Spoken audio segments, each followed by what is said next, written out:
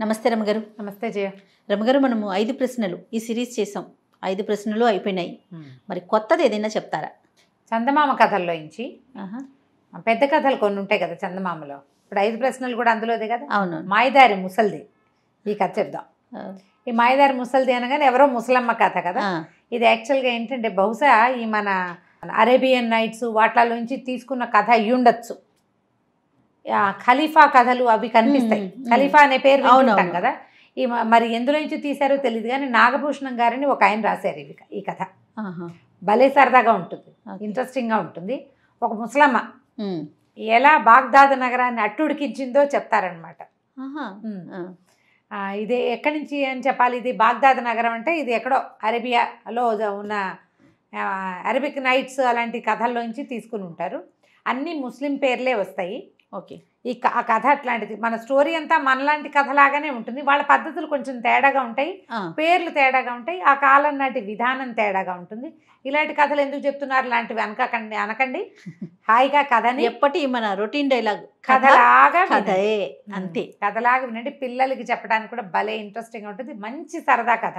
Okay అండి. పూర్వం అట బాగ్దాద్ నగరానికి ఆయన ఖలీఫాగా ఉన్నప్పుడు ఖలీఫా ఆయన రాజుగా ఉన్నాడు. ఉన్నప్పుడు ఒక పావురాల టపా నడిచేదట. పావురాల టపా అంటే ఈ ఊరి నుంచి ఆ ఊరికి వార్తలు పంపించడానికి. పావురాలు. పోస్ట్ మ్యాన్లు ఆ పావురాల టపా ఆ పావురాల టపాని ఒక అతను నిర్వహించేవాడు. అతనికి నలభై మంది బానిసలు నలభై వేట కుక్కలు కూడా ఇచ్చేది గవర్నమెంట్ సడన్గా అతను మరణించాడు. మరణించేసరికల్లా మరి టబా మూసుకుపోయింది ఇంకోటి ఎవరినో చూడాలి ఈ. వాళ్ళ రాజుగారు ఏం చేశారు ఈ ఖలీఫా ఈ కుక్కల్ని బానిసల్ని అందరినీ తీసేసుకున్నాడు. అయితే ఈయనకు ఒక భార్య కూతురు ఉన్నారు. దిలైలా ఆయన భార్య పేరు. చనిపోయిన ఆయన భార్య పేరు. కూతురు జీనాబా అని కూతురు. ఈ దిలైలా ఏం చేస్తుందంటే ఖలీఫాకు ఉత్తరం రాయించు కబుర్ చేసింది ఈ టపా నిర్వహించడం నాకు వచ్చు. నేను నా కూతురు ఇద్దరం నేర్చుకున్నాం. నా భర్త అబ్సెన్స్లో నేను చేసేదాన్ని. నాకు నాలుగు పనులు వచ్చు. అసలు ఆయన ఏం చేయలే ఎక్కువ భాగం నేనే చేశా.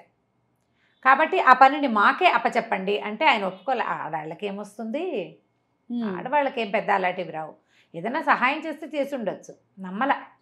పైగా ఆ కాలంలో ఏంటంటే వాళ్ళు ఇళ్ళలోనే ఉండేవాళ్ళు.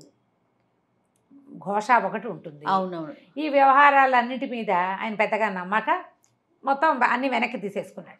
తీసేసుకుంటే కొళ్ళు మండిపోయింది. కానీ ఏం చేస్తుంది? ఆ రోజుల్లోనట కొంతమంది దొంగలు ఉండేవాళ్ళు. ఈ దొంగల్లో ఓ ఇద్దరు దొంగల్ని నగర కొత్వాళ్ళుగా నియమించారట. కొత్వాల్స్ ఇద్దరు. అంటే ఇన్స్పెక్టర్లు లాంటి వాళ్ళు. అయితే ఎందుకట? హసను అబ్దుల్ వాళ్ళిద్దరు. ఈ హసను అబ్దులు ఎంత ప్రయత్నించినా ఖలీఫా వాళ్ళని పట్టుకోలేకపోయాడు. ఇంత చాకచక్యం ఉన్నవాళ్ళు దొంగలుగా కాకుండా కొత్తవాళ్ళుగా ఉంటే ఎవరినైనా బురుడి కొట్టిస్తారు వాళ్ళు. అని చెప్పి ప్రకటన ఇచ్చి. మిమ్మల్ని నగర కొత్తవాళ్ళుగా నియమించుకుంటాను. మీరు దొంగతనాలు మానేసి వచ్చి కొలువులో చేరండి. అని చెప్పి ఇళ్ళు బాకిళ్ళు వాళ్ళకి బానిసలు కుక్కలు నక్కలు తర్వాత గుర్రాలు అన్నీ ఏర్పరిచి వాళ్ళిద్దరిని ఆ, కొత్తవాళ్ళుగా నియమించుకున్నాడు. ఈ దిలైలా కొళ్ళు మండింది. దొంగ వెధవల్ని పట్టుకోవాల్సింది పోయి వాళ్ళని రండిరా బాబు అని పిలిచి వాళ్ళకి ఉద్యోగాలు ఇస్తాడా? నాకైనా అంత చేత కాలేదు. నన్నెందుకు తీసుకోవాలా నన్ను పరిగణించలా? దొంగల్ని పరిగణించి కొత్త వాళ్ళుగా పెట్టుకున్నాడు. వీళ్ళ సంగతి చెప్తాను నేను. వాళ్ళిద్దరికంటే నేను తెలివిగల దాన్ని ప్రూవ్ చేసుకుంటా అని చెప్పింది కూతురికి. సరే ఒకరోజు పొద్దున్నే బయలుదేరింది. ఇప్పుడు బయలుదేరటం ఎట్లా బయలుదేరింది? సూఫీ సన్యాసులు ఉంటారు. వాళ్ళు ఏంటి మెడ నిండా తావళాలు అవి వేసుకుంటారు ఏవో ముసుగు వేసుకుంటారు. చిన్నవి ఇలా ఇలా టిక్ టిక్ మన కొట్టేది ఏదో ఉంటుంది ఒక సాధనం. మన ఉహు. చిరతలు లాంటిది ఇట్లా పట్టుకుని కొట్టేది పాటలు పాడడానికి. సూఫీ గీతాలు పాడేందుకు. ఆ సన్యాసిని వేషం వేసుకుంది. రోడ్డు మీద ఈ సన్యాసులు నడుస్తూ అల్లాహో అక్బర్ అని అరుస్తారు. వాళ్ళతో పాటు ఆ వేషం వేసుకుని ఇప్పుడు వాళ్ళతో పాటు వెళ్ళొచ్చు వాళ్ళతో పాటు వెళ్ళి ఇప్పుడు ఒక్కతే తిరగటం మొదలుపెట్టింది అట్లా తిరుగుతూ ఉంటే తిరుగుతూ తిరుగుతూ ఉండగా ఏమైంది? ఇప్పుడు ఒక రాజప్రతినిధులు తర్వాత రాజాధికారులు వీళ్ళు నగర అధికారులు ఉంటారు కదా ఆ లైన్లోకి వెళ్ళింది. ఆ లైన్లో ముస్తఫా అని ఒక పెద్ద అధికారి ఇల్లు ఉంది ఆ ముస్తఫాకి ముస్తఫా చాలా పెద్ద అధికారి ఖాతూన్ అని ఒక అందమైన భార్య ఉందట. ఎంత అందగత్తో ఆవిడ. పిల్లలు లేరు కానీ. ఆ మామూలుగా ముస్లిమ్స్లో మూ- రెండో మూడో వివాహాలు చేసుకునేందుకు అనుమతి ఉంటుంది. పిల్లలు లేకపోతే అందరిలోనూ రెండో పెళ్ళి చేసుకోవచ్చు. కానీ ఈ ఖాతూన్ బ్యూటీకి ఇదైపోయి ఆయన భార్యను ముద్దుగా చూసుకునేవాడు రెండో పెళ్ళి చేసుకోవాలి. ఈవిడ పాపం అయ్యో నా వల్ల ఈయనకి పిల్లలు లేకుండా పోయారని ఏదో మందులు మింగుతూ ఉండేది. ఆయన కొంచెం బాధగా ఉండేది. తనతో పాటు దివాణానికి తీసుకెళ్ళడానికి కుమారుడు లేకపోయారని దిగులుగా ఉండేది. కానీ భార్యా వ్యామోహంతో ఆయన పెళ్ళి చేసుకోలేదు ఇంకో పెళ్ళి చేసుకోలేదు. ఆవిడ ఆ మందు ఈ మందు ఆ సన్యాసులు ఈ సన్యాసులు వాళ్ళని వెళ్ళి వెళ్ళి వాళ్ళని పిలిచి ఆశ్రయిస్తూ ఉండేది. అయితే ఏమైంది? ఆ ఖాతును అప్పుడే ఆ ముస్తఫా గారు గుర్రం ఎక్కి బయటికి వెళ్ళాడు ఈ అమ్మాయి ఏమో బయట అక్కడ పైన మేడ మీద నిలబడి భర్తకి బాయ్ చెప్తారు. మన సూఫీ సన్యాసి వేషంలో ఉన్న దిలైలా అటు వెళ్తూ చూసి పైకి చూస్తే కొత్త పెళ్ళి కూతురలే మెడ నిండా చేతులు నిండా చెవులు నిండా నగలు. చూస్తే అమ్మాయి అందంగా ఉంది ధగ ధగ ధగలాడిపోతుంది నగలు. ఈ నగలన్నీ కొట్టేయకపోతే మన ప్రజ్ఞ ఉంది అనిపించింది దిలైలాకి సరే ఏం చేసింది? అక్కడక్కడే తిరగడం మొదలుపెట్టింది అల్లాహో అక్బర్ అని. అయితే ఈ పైన నిలబడిన ఖాతూన్కి మామూలుగా ఆ సన్యాసుల్ని వాళ్ళని పిలిస్తే కొంచెం సన్యాసులైనా మగవాళ్ళని పిలవడానికి కొంచెం ఈవిడ ఆడవాళ్ళు ఆడ సన్యాసిని కదా. ఏదైనా పిల్లలు కలగడానికి మాయో మంత్రమో మందో మాకో చెప్తుందేమోనని ఓ పని మనిషిని కేకేసి వసే ఆ సన్యాసిని అమ్మని పిలుచుకురామని పిలుచు పిలుచుకొచ్చేసారు కల్లా సరే లోపలికి వచ్చింది ఈవిడేమంది మరి పిల్లలు లేరు నాకు అనేసరికల్లా ఈవిడ చెప్పింది సన్యాసిని వేషంలో ఉందిగా దిలైలా ఏమందంటే నాకు తెలిసిన ఒక సిద్ధపురుషుడు ఒక ఆయన ఉన్నాడు. అసలు ఆయన దగ్గరికి వెళ్ళామంటే పిల్లలే పిల్లలు. ఓ. అనేసరికల్లా నేను ఎట్లా వస్తాను? ఎట్లా రావడానికి ఏముంది? ఇప్పుడు నాతో బయలుదేరిరా. మీ ఆయన వచ్చేసరికి ఇంటికి వెళ్ళిపోదు గంటకు వచ్చేస్తావు నువ్వు. అసలు ఆడవాళ్ళే ఆశ్రయించాలి పిల్లల కోసం మగవాళ్ళదేముంది ఆయన ఇంకో పెళ్ళి చేసుకోవచ్చు. పాప మీ ఆయన ఏదో నీ కోసం ఆగాడు. అనేసరికల్లా బయటికి వెళ్తాం అనగానే ఈవిడ రోజు మెళ్ళో ఉన్న అలంకారాలు రోజువారడివి అట్లా కళకళలాడుతూ ఉంటుంది. ఇంకో నాలుగు వస్తువులు దిగేసుకుంది అమ్మడు. వేసుకుని ఈవిడ వెనకాల బయలుదేరింది మేలు ముసుగేసుకుని. సరే ఇద్దరు కలిసి నడుచుకుంటూ వెళ్తున్నారు. వెంబడి పెట్టు తీసుకెళ్తుంది అనమాట మధ్యలో ఒక దుకాణం కనపడింది. సిద్దిక్ మొహసీన్ అని ఒక దుకాణం. వాడు కుర్రాడు. ఆ షాపులో అబ్బాయి కుర్రవాడు. వివాహం కాలే వాడికి. ఈవిడ ఏం చేసింది? అమ్మాయి నువ్వు బయట కూర్చొని ఈ అందగత్తైన ఈ ఖాతుని బయట కూర్చోబెట్టి లోపలికి వెళ్ళి లోపలికి వెళ్ళి నాయన బాగున్నాటో అదో ఏదో అని పలకరించాను పలకరించి నేను చాలా పెద్ద రత్నాల వర్తకలో. మరి బయట కూర్చుంది ఆ పిల్ల నా కూతురు పెళ్ళి చేయాలనుకుంటున్నాను. మరి ఇంకా మా పిల్లని కనుక చేసుకుంటివా ఇట్లాంటి దుకాణాలు నాలుగు పెట్టుకోవచ్చు. మా ఆయన బౌళ్ళంతా దాచిపెట్టాడు. ఆయన కాస్త మరణించాడు. పిల్లని ఎవరైనా పెద్దవాడి చేతిలో పెట్టి వాళ్ళ అండనే నా జీవితం గడపాలని భావిస్తున్నాను. అనేసరికి సరే ఆయన బయటకు చూస్తే చక్కగా మెరిసిపోతుంది. పాదాలు చేతులు తెల్లగా కనపడితే కొంచెం మెసి ముసుగులోంచి లీలగా కనపడుతుంది. చక్కగా ఆకారం షేప్ కనిపిస్తుంది కదా మనుషులు బాగున్నారు అని. చూసి అబ్బో ఎంతో బాగుంది అనుకుని చేసుకుంటాను అన్నాడు. చేసుకుని మరి నిస్తార్థం చేస్తావా? చే- చేస్తానన్నాడు. ఎప్పుడు చేస్తావన్నాడు చేస్తానంది ఈవిడ. ఎప్పుడంటే ఎప్పుడో ఎందుకు రా నాతోటి? ఇప్పుడే. ఇప్పుడే నిస్తార్థం చేస్తాను. ఏముంది? పెళ్ళిళ్ళలో అయిపోతాయిట వాళ్ళలో మరి అలా సింపుల్గా. అవునో కాదో ఆ కథలో అట్లా ఉంది. సరే ఈయన ఏం చేశాడు? దే మరి డబ్బు ఇవ్వాలి. పిల్లని పెళ్ళి చేసుకోవటం అంటే దాన్ని ఏదో అంటారు. మెహర్ లాంటిది పేరేదో ఉంటుంది. ఓకే. వాళ్ళకి ఇంత డ- సొమ్ము ఇస్తున్నాము అని. ఆ మెహర్ ఆ అమ్మాయి కట్నం అనమాట అమ్మాయికి ఇచ్చే డబ్బు. మరి సంచి డబ్బులు సంచి సంకలో పెట్టుకుని బయలుదేరాడు. ఈ ఖాతూన్ని ఈ మొహి మొహసీన్ని ఇద్దరిని వెంట పెట్టుకుని ముందుకు నడుచుకుంటూ వెళ్ళి ముందుకు వెళ్ళేసరికి హజ్ మొహమ్మద్ అనే ఒకటిది కలంకారీ దుకాణం కనపడింది. ఇక్కడ ఏంటంటే కలంకారీ దుకాణం అంటే బట్టలు అద్దకం వేస్తారు. రంగుల్లో ముంచి ఇవ్వటం కొన్ని డిజైన్లు వేసి ఇవ్వటం కలర్స్ మార్చడం బట్టలకి కలర్స్ మార్చడం కనపడింది. ఉమ్. కనపడేసరికి మీ ఇద్దరు ఇక్కడే ఉండండి నాకు పని ఉందని లోపలికి వెళ్ళి ఒక మాట మాట్లాడొస్తాను. లోపలికి వెళ్ళి నాయన మా ఆయన చనిపోయాడు. బయట ఉన్న వాళ్ళిద్దరు నా మా పిల్లలు మేము చాలా అర్జెంటుగా ఇల్లు ఖాళీ చేయవలసి వచ్చింది ఎమర్జెంటుగా ఇల్లు కావాల్సిన పరిస్థితిలో ఉన్నాను నేను. మీకు మీ దాంట్లో మీ పరిచయస్తుల్లో ఎక్కడైనా ఒక ఇల్లు ఉందా ఈ పూటకి ఈ పూట ఇల్లు చూస్తా ఇల్లు తీసుకోవాలి సామాన్లు తెచ్చుకోవాలి మేము అది ఖాళీ చేయవలసి వచ్చింది మరమ్మతులు పెట్టుకున్నాం ఆ పని వాళ్ళు ఏమో వచ్చేసారు అన్నది. అనేసరికల్లా ఇతను ఆ మాట ఈ మాట మాట్లాడి చూస్తే మరి ఈవిడ ముసలిది ఇద్దరు పిల్లలు కనపడతారు కుర్రాడు ఆ అమ్మాయి ముసుగేసుకుని పిల్ల ఒకటి కనపడుతోంది వీళ్ళ పిల్లలే అనుకుంటారు ఆవిడ చెప్పడాన్ని బట్టి. ఏమన్నాడు? ఆ దాందే ఉందమ్మా వీళ్ళకేముంది మేము నా నా మా ఇంట్లో పైభాగం ఎప్పుడు ఖాళీగానే ఉంటుంది మంచి అంటే అదను వచ్చినప్పుడు అంటే రంగులు వేసే రోజులు వచ్చినప్పుడు ఈ నీలి వర్తకులు వస్తారు. కలర్స్ తెచ్చేవాళ్ళు. బ్లూ ఇండిగో తెస్తారనమాట దాంతో కదా చాలా రంగులు కలుపుతాం. ఆ వర్తకులు వచ్చినప్పుడు వాళ్ళని ఉంచేవాడిని. ఇప్పుడు ఇల్లు ఖాళీగా ఉంది. ఆ ఇల్లు ఖాళీగా ఉంది. కావాలంటే మీరు ఉండండి కొద్ది రోజుల పాటు. అంటే మా నాయన అంతకంటే నా నాయన చాలా సంతోషం. రెంట్ అది మాట్లాడుకుందాం. నువ్వు రా సాయంకాలానికి ఇంటికి వస్తే మాట్లాడుకుందామని తాళాలు చేతపుచ్చుకుని ఆ ఇంటి అడ్రస్ చెప్పాడు. ఆ కలంకారీ దుకాణం నుంచి బయటకు వచ్చి ఈ పిల్లని ఈ. కుర్రాన్ని మెహ- మొహసీన్ అనే అబ్బాయి ఖాతూన్ అనే అమ్మాయి ఇద్దరిని వెంబడబెట్టు తీసుకుపోయింది ఆ ఇంటికి. తీసుకెళ్ళి ఆ మొహసీన్ ఏమో నువ్వు ఇక్కడ కూర్చో నేను కాజీని పిలుచుకొస్తాను అని కింద ఇంట్లోకి పంపించింది. ఖాతూన్ ఏమో తీసుకుని మేడ మీదకి తీసుకెళ్ళి. మేడ మీదకి వెళ్ళి మేడ మీదకి వెళ్ళిన తర్వాత సరే ఒక కాసేపు గడిచింది. గడిచాక కిందకు వచ్చింది కిందకు వచ్చేసరికల్లా ఆ అమ్మాయికి ఏం చెప్పిందంటే ఆయన దగ్గరికి నగలు అవి పుచ్చుకుని వెళ్ళకూడదు. ఇన్ని నగలు ఉన్నాయి కదా నేను నగలన్నీ మూట కట్టి పెట్టు. ఒట్టిగా దర్శించుకుందాం. ఖాళీగా వెళ్ళి దర్శించుకోవాలని చెప్పింది సరే ఒప్పుకుంది అమ్మాయి. నగలు తీసుకుంటోంది ఇవి కిందకు వచ్చింది. కిందకు వచ్చేసరికల్లా ఏం కుర్రాడు అన్నాడు? నిస్తార్థమన్నావు? ఏది చేయవా మరి? అన్నాడు. నిస్తార్థానికి ఏంది నా కూతురికి బానిస పిల్లలు ఎవరో చెడు మాటలు చెప్పేశారు. నేను నీ షాప్కి వచ్చినప్పుడే దానికి తెలుసు నీ ఒంటి మీద బొల్లుందని అదని చెప్తున్నారు. చెప్పారు దానికి వీడికి బొల్లుంది నేను చేసుకొని ఉంటుంది మా పిల్ల అనేసరికి బొల్ల నాకెక్కడ బొల్లుంది? నాకు బొల్లు లేదు ఏం లేదు అన్నాడు. సరే అయితే ఓ పని చెయ్యి నువ్వు చొక్కా విప్పుకుని కూర్చో. నీ సంచిను అదేను నీ చొక్కాన్ని నేను పుచ్చుకుంటాలే చొక్కా విప్పుకుని కూర్చో నేను పోయి మా పిల్లని పిలుచుకొస్తానని ఈయన ఏం చేశాడు? ఒంటి మీద అంగరకాలాంటిది ఏదో పక్కకి తాళ్ళు కట్టే చొక్కా ఉంది ఆ చొక్కా కూడా తీసుకున్నాడు కింద ఏదో పైజమా వేసుకుని ఉన్నాడు అతను. ఆ- ఆ చొక్కా ఓడ తీసి ఆ చొక్కాను ఆ సంచి ఆవిడ చేతికి ఇచ్చాడు బొళ్ళంతా చూపించద్దా వీపంతా? మనం బొల్లి ఉందో లేదో? చూపించాలి కదా.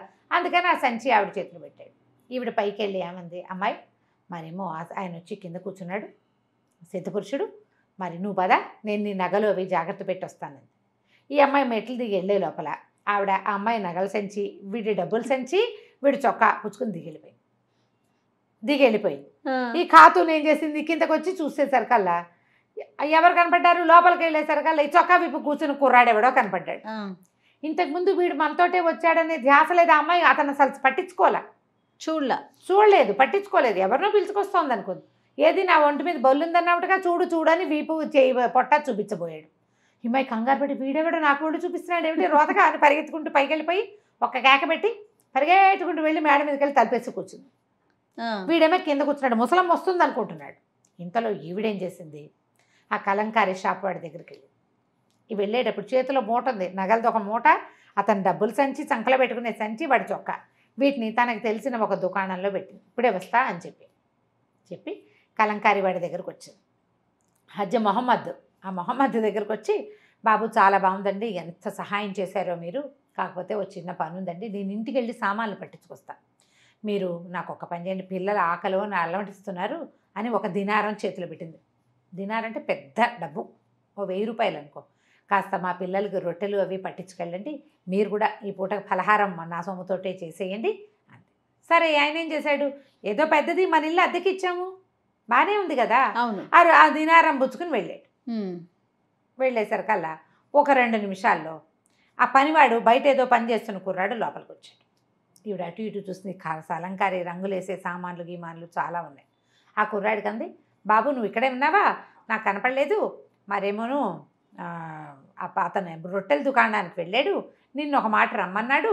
మీ యజమాని అనేసరికల్లా మరి నేను ఇక్కడ కొట్లో ఎవరుంటారు నేను ఉంటా కదటయ్యా నేను ఉంటాగా మీ యజమాని ఇల్లు అద్దెకి తీసుకున్న దాన్నే కదా నేను నేను ఉంటాలే. నువ్వు వెళ్ళని కుర్రాన్ని పంపేసింది ఈ కొట్లో సామాన్లు తను ఏమేమి ఎత్తిపెట్టి ప్యాక్ చేసేయగలదు అవన్నీ తీసేసుకుంది పక్కకి. తీసేసి ఆ దారైపోతున్నటువంటి ఒక మూత గాడిద కుర్రవాడిని పిలిచింది ఆ రో అక్కడ ఏంటంటే మూత బరువు సామాన్లు మోసుకెళ్ళడానికి గాడిదలు. కుర్రాళ్ళు మూత బరువు కుర్రాన్ని పిలిచి ఒరే అబ్బాయి ఈ దుకాణం తెలుసు కదా హజ్ మొహమ్మద్ కలంకారీ వాడు మా అబ్బాయే వాడు అప్పులు చేశాడు అక్కడి నుంచి రాజభట్లు వచ్చి జప్తు చేయబోతున్నారు. మరి కొన్ని సామాన్లు ఉపయోగపడే సామాన్లు ఏమో నేను గాడిద మీద వేసి పట్టుకెళ్తాను నీ గాడిదని కాసేపు నాకు ఇవ్వు మరేమో నువ్వు నువ్వు ఇక్కడే ఉండు. నేను ఇవి సామాన్లు ఇంటి దగ్గర చేర్చేసి మళ్ళీ వస్తా. నువ్వేం చేస్తావంటే ఈ మంద రంగుల సీసాలు అవి ఉన్నాయి. అది ఆవిడ కదపలేదు. కదపగలిగేవన్నీ పట్టుకెళ్ళిపోతుంది. ఈ కదపలేని సీసాలు అవన్నీ పగలగొట్టేసేయి లేకపోతే ఈ భటులు వచ్చి జప్తు చేసేస్తారు. జప్తు అయితే మళ్ళీ దుకాణం పుట్టదు అని చెప్పింది. ఈ కుర్రాడు ఏమనుకున్నాడు? మనం దుకాణంలో ఉన్నాం. ఇన్ని రంగులు ఉన్నాయి ఇవి పగలగొట్టే పని మనకే కదా. అప్పచెప్పారు ఇంకో రూపాయి ఇస్తుంది. ఒక దినారం వాడి చేతిలో పెట్టింది. వచ్చాక ఇంకో రూపాయి ఇస్తాను ఈ గాడిద మీద ఈ కలంకారీ వాడి సామాన్లు అన్నీ వేసుకుని ఇంటి దారి పెట్టేసింది. వెళ్ళిపోయింది. వెళ్ళిపోయింది. ఇక అక్కడి నుంచి ఏమైంది? కలంకారీ ఆయన ద- కలంకా అక్కడికి వెళ్ళాడు హజ్ మహమ్మద్ రొట్టెల దుకాణానికి వెళ్ళాడు. పనివాడు అక్కడికి వెళ్ళాడు. ఏమిటండి పిలిచారట అన్నాడు. నేను పిలవటం ఏమిటి? అనేసరికల్లా ఆ చేపలో ఉన్న ముసలమ్మ చెప్పిందండి మీరు పిలిచారని. ముసలమ్మ అలా ఎందుకు చెప్తుంది? ఆవిడే కదా రూపాయి ఇచ్చి దు- దినారం ఇచ్చి రొట్టెలు, నన్ను ఆ. రొట్టెలు కొనమంది. సరే పద వెళ్ళి వెనక్కి చూద్దాం ఏం చేస్తుందో అని ఇద్దరు కలిసి వెనక్కి వచ్చారు వెనక్కి వచ్చేసరికి కుర్రాడు ఉన్నాడు మోతగాడిదే వాడు. వాడేం చేస్తున్నాడు? ఆ రంగు సీసాలు రకరకాల రంగులు అన్నీ పగలగొట్టేస్తున్నాడు. ఒరి నీకడు పుడక ఏమిట్రా నా సామాన్లన్నీ పగలగొడుతున్నావు? అంటే మీ అమ్మే పగలగొట్టమంది అంటాడు. మా అమ్మ ఏనాడు చచ్చిపోయింది? అమ్మరా అంటే నా తెలియదండి నా గాడిదేది అంటాడు వాడు. వాడేమో నా గాడిదో అంటాడు. ఈయనేమో నా "ఈ షాప్. నా షాపో అంటాడు. మీ అమ్మ అంటాడు వాడు. మా అమ్మ చచ్చిపోయిందిరా అంటాడు వీడు. గందరగోళంగా కొట్టేసుకున్నారు. చుట్టుపక్కల షాపుల వాళ్ళంతా చేరారు. ఇక్కడ ఏదో జరిగిందని అర్థమైంది వాళ్ళకి. కాసేపటికి స్థిమితపడ్డారు.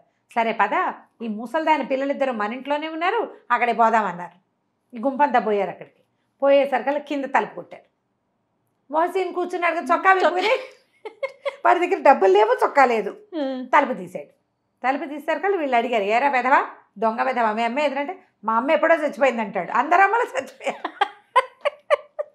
మా అమ్మ చచ్చి మీ అమ్మ చచ్చిపోవడం ఏంటి? నీ వెంట వచ్చింది కదంటే నా వెంట వచ్చింది ముసలిది. మా అమ్మ కాదు కాదు. కూతుర్నిచ్చి పెళ్ళి చేస్తానని నన్ను తీసుకొచ్చింది. ఆ కూతురు ఏమో మేడ మీద కూర్చుంది. తల్లి కూతురులు ఇంకా దిగలేదు. వాళ్ళ కోసమే చూస్తున్నాను. కాజీని తీసుకొస్తానంది. పెళ్ళి కోసం చూస్తాను. నా డబ్బులు నా చొక్కా దాని దగ్గరే ఉన్నాయి అన్నాడు.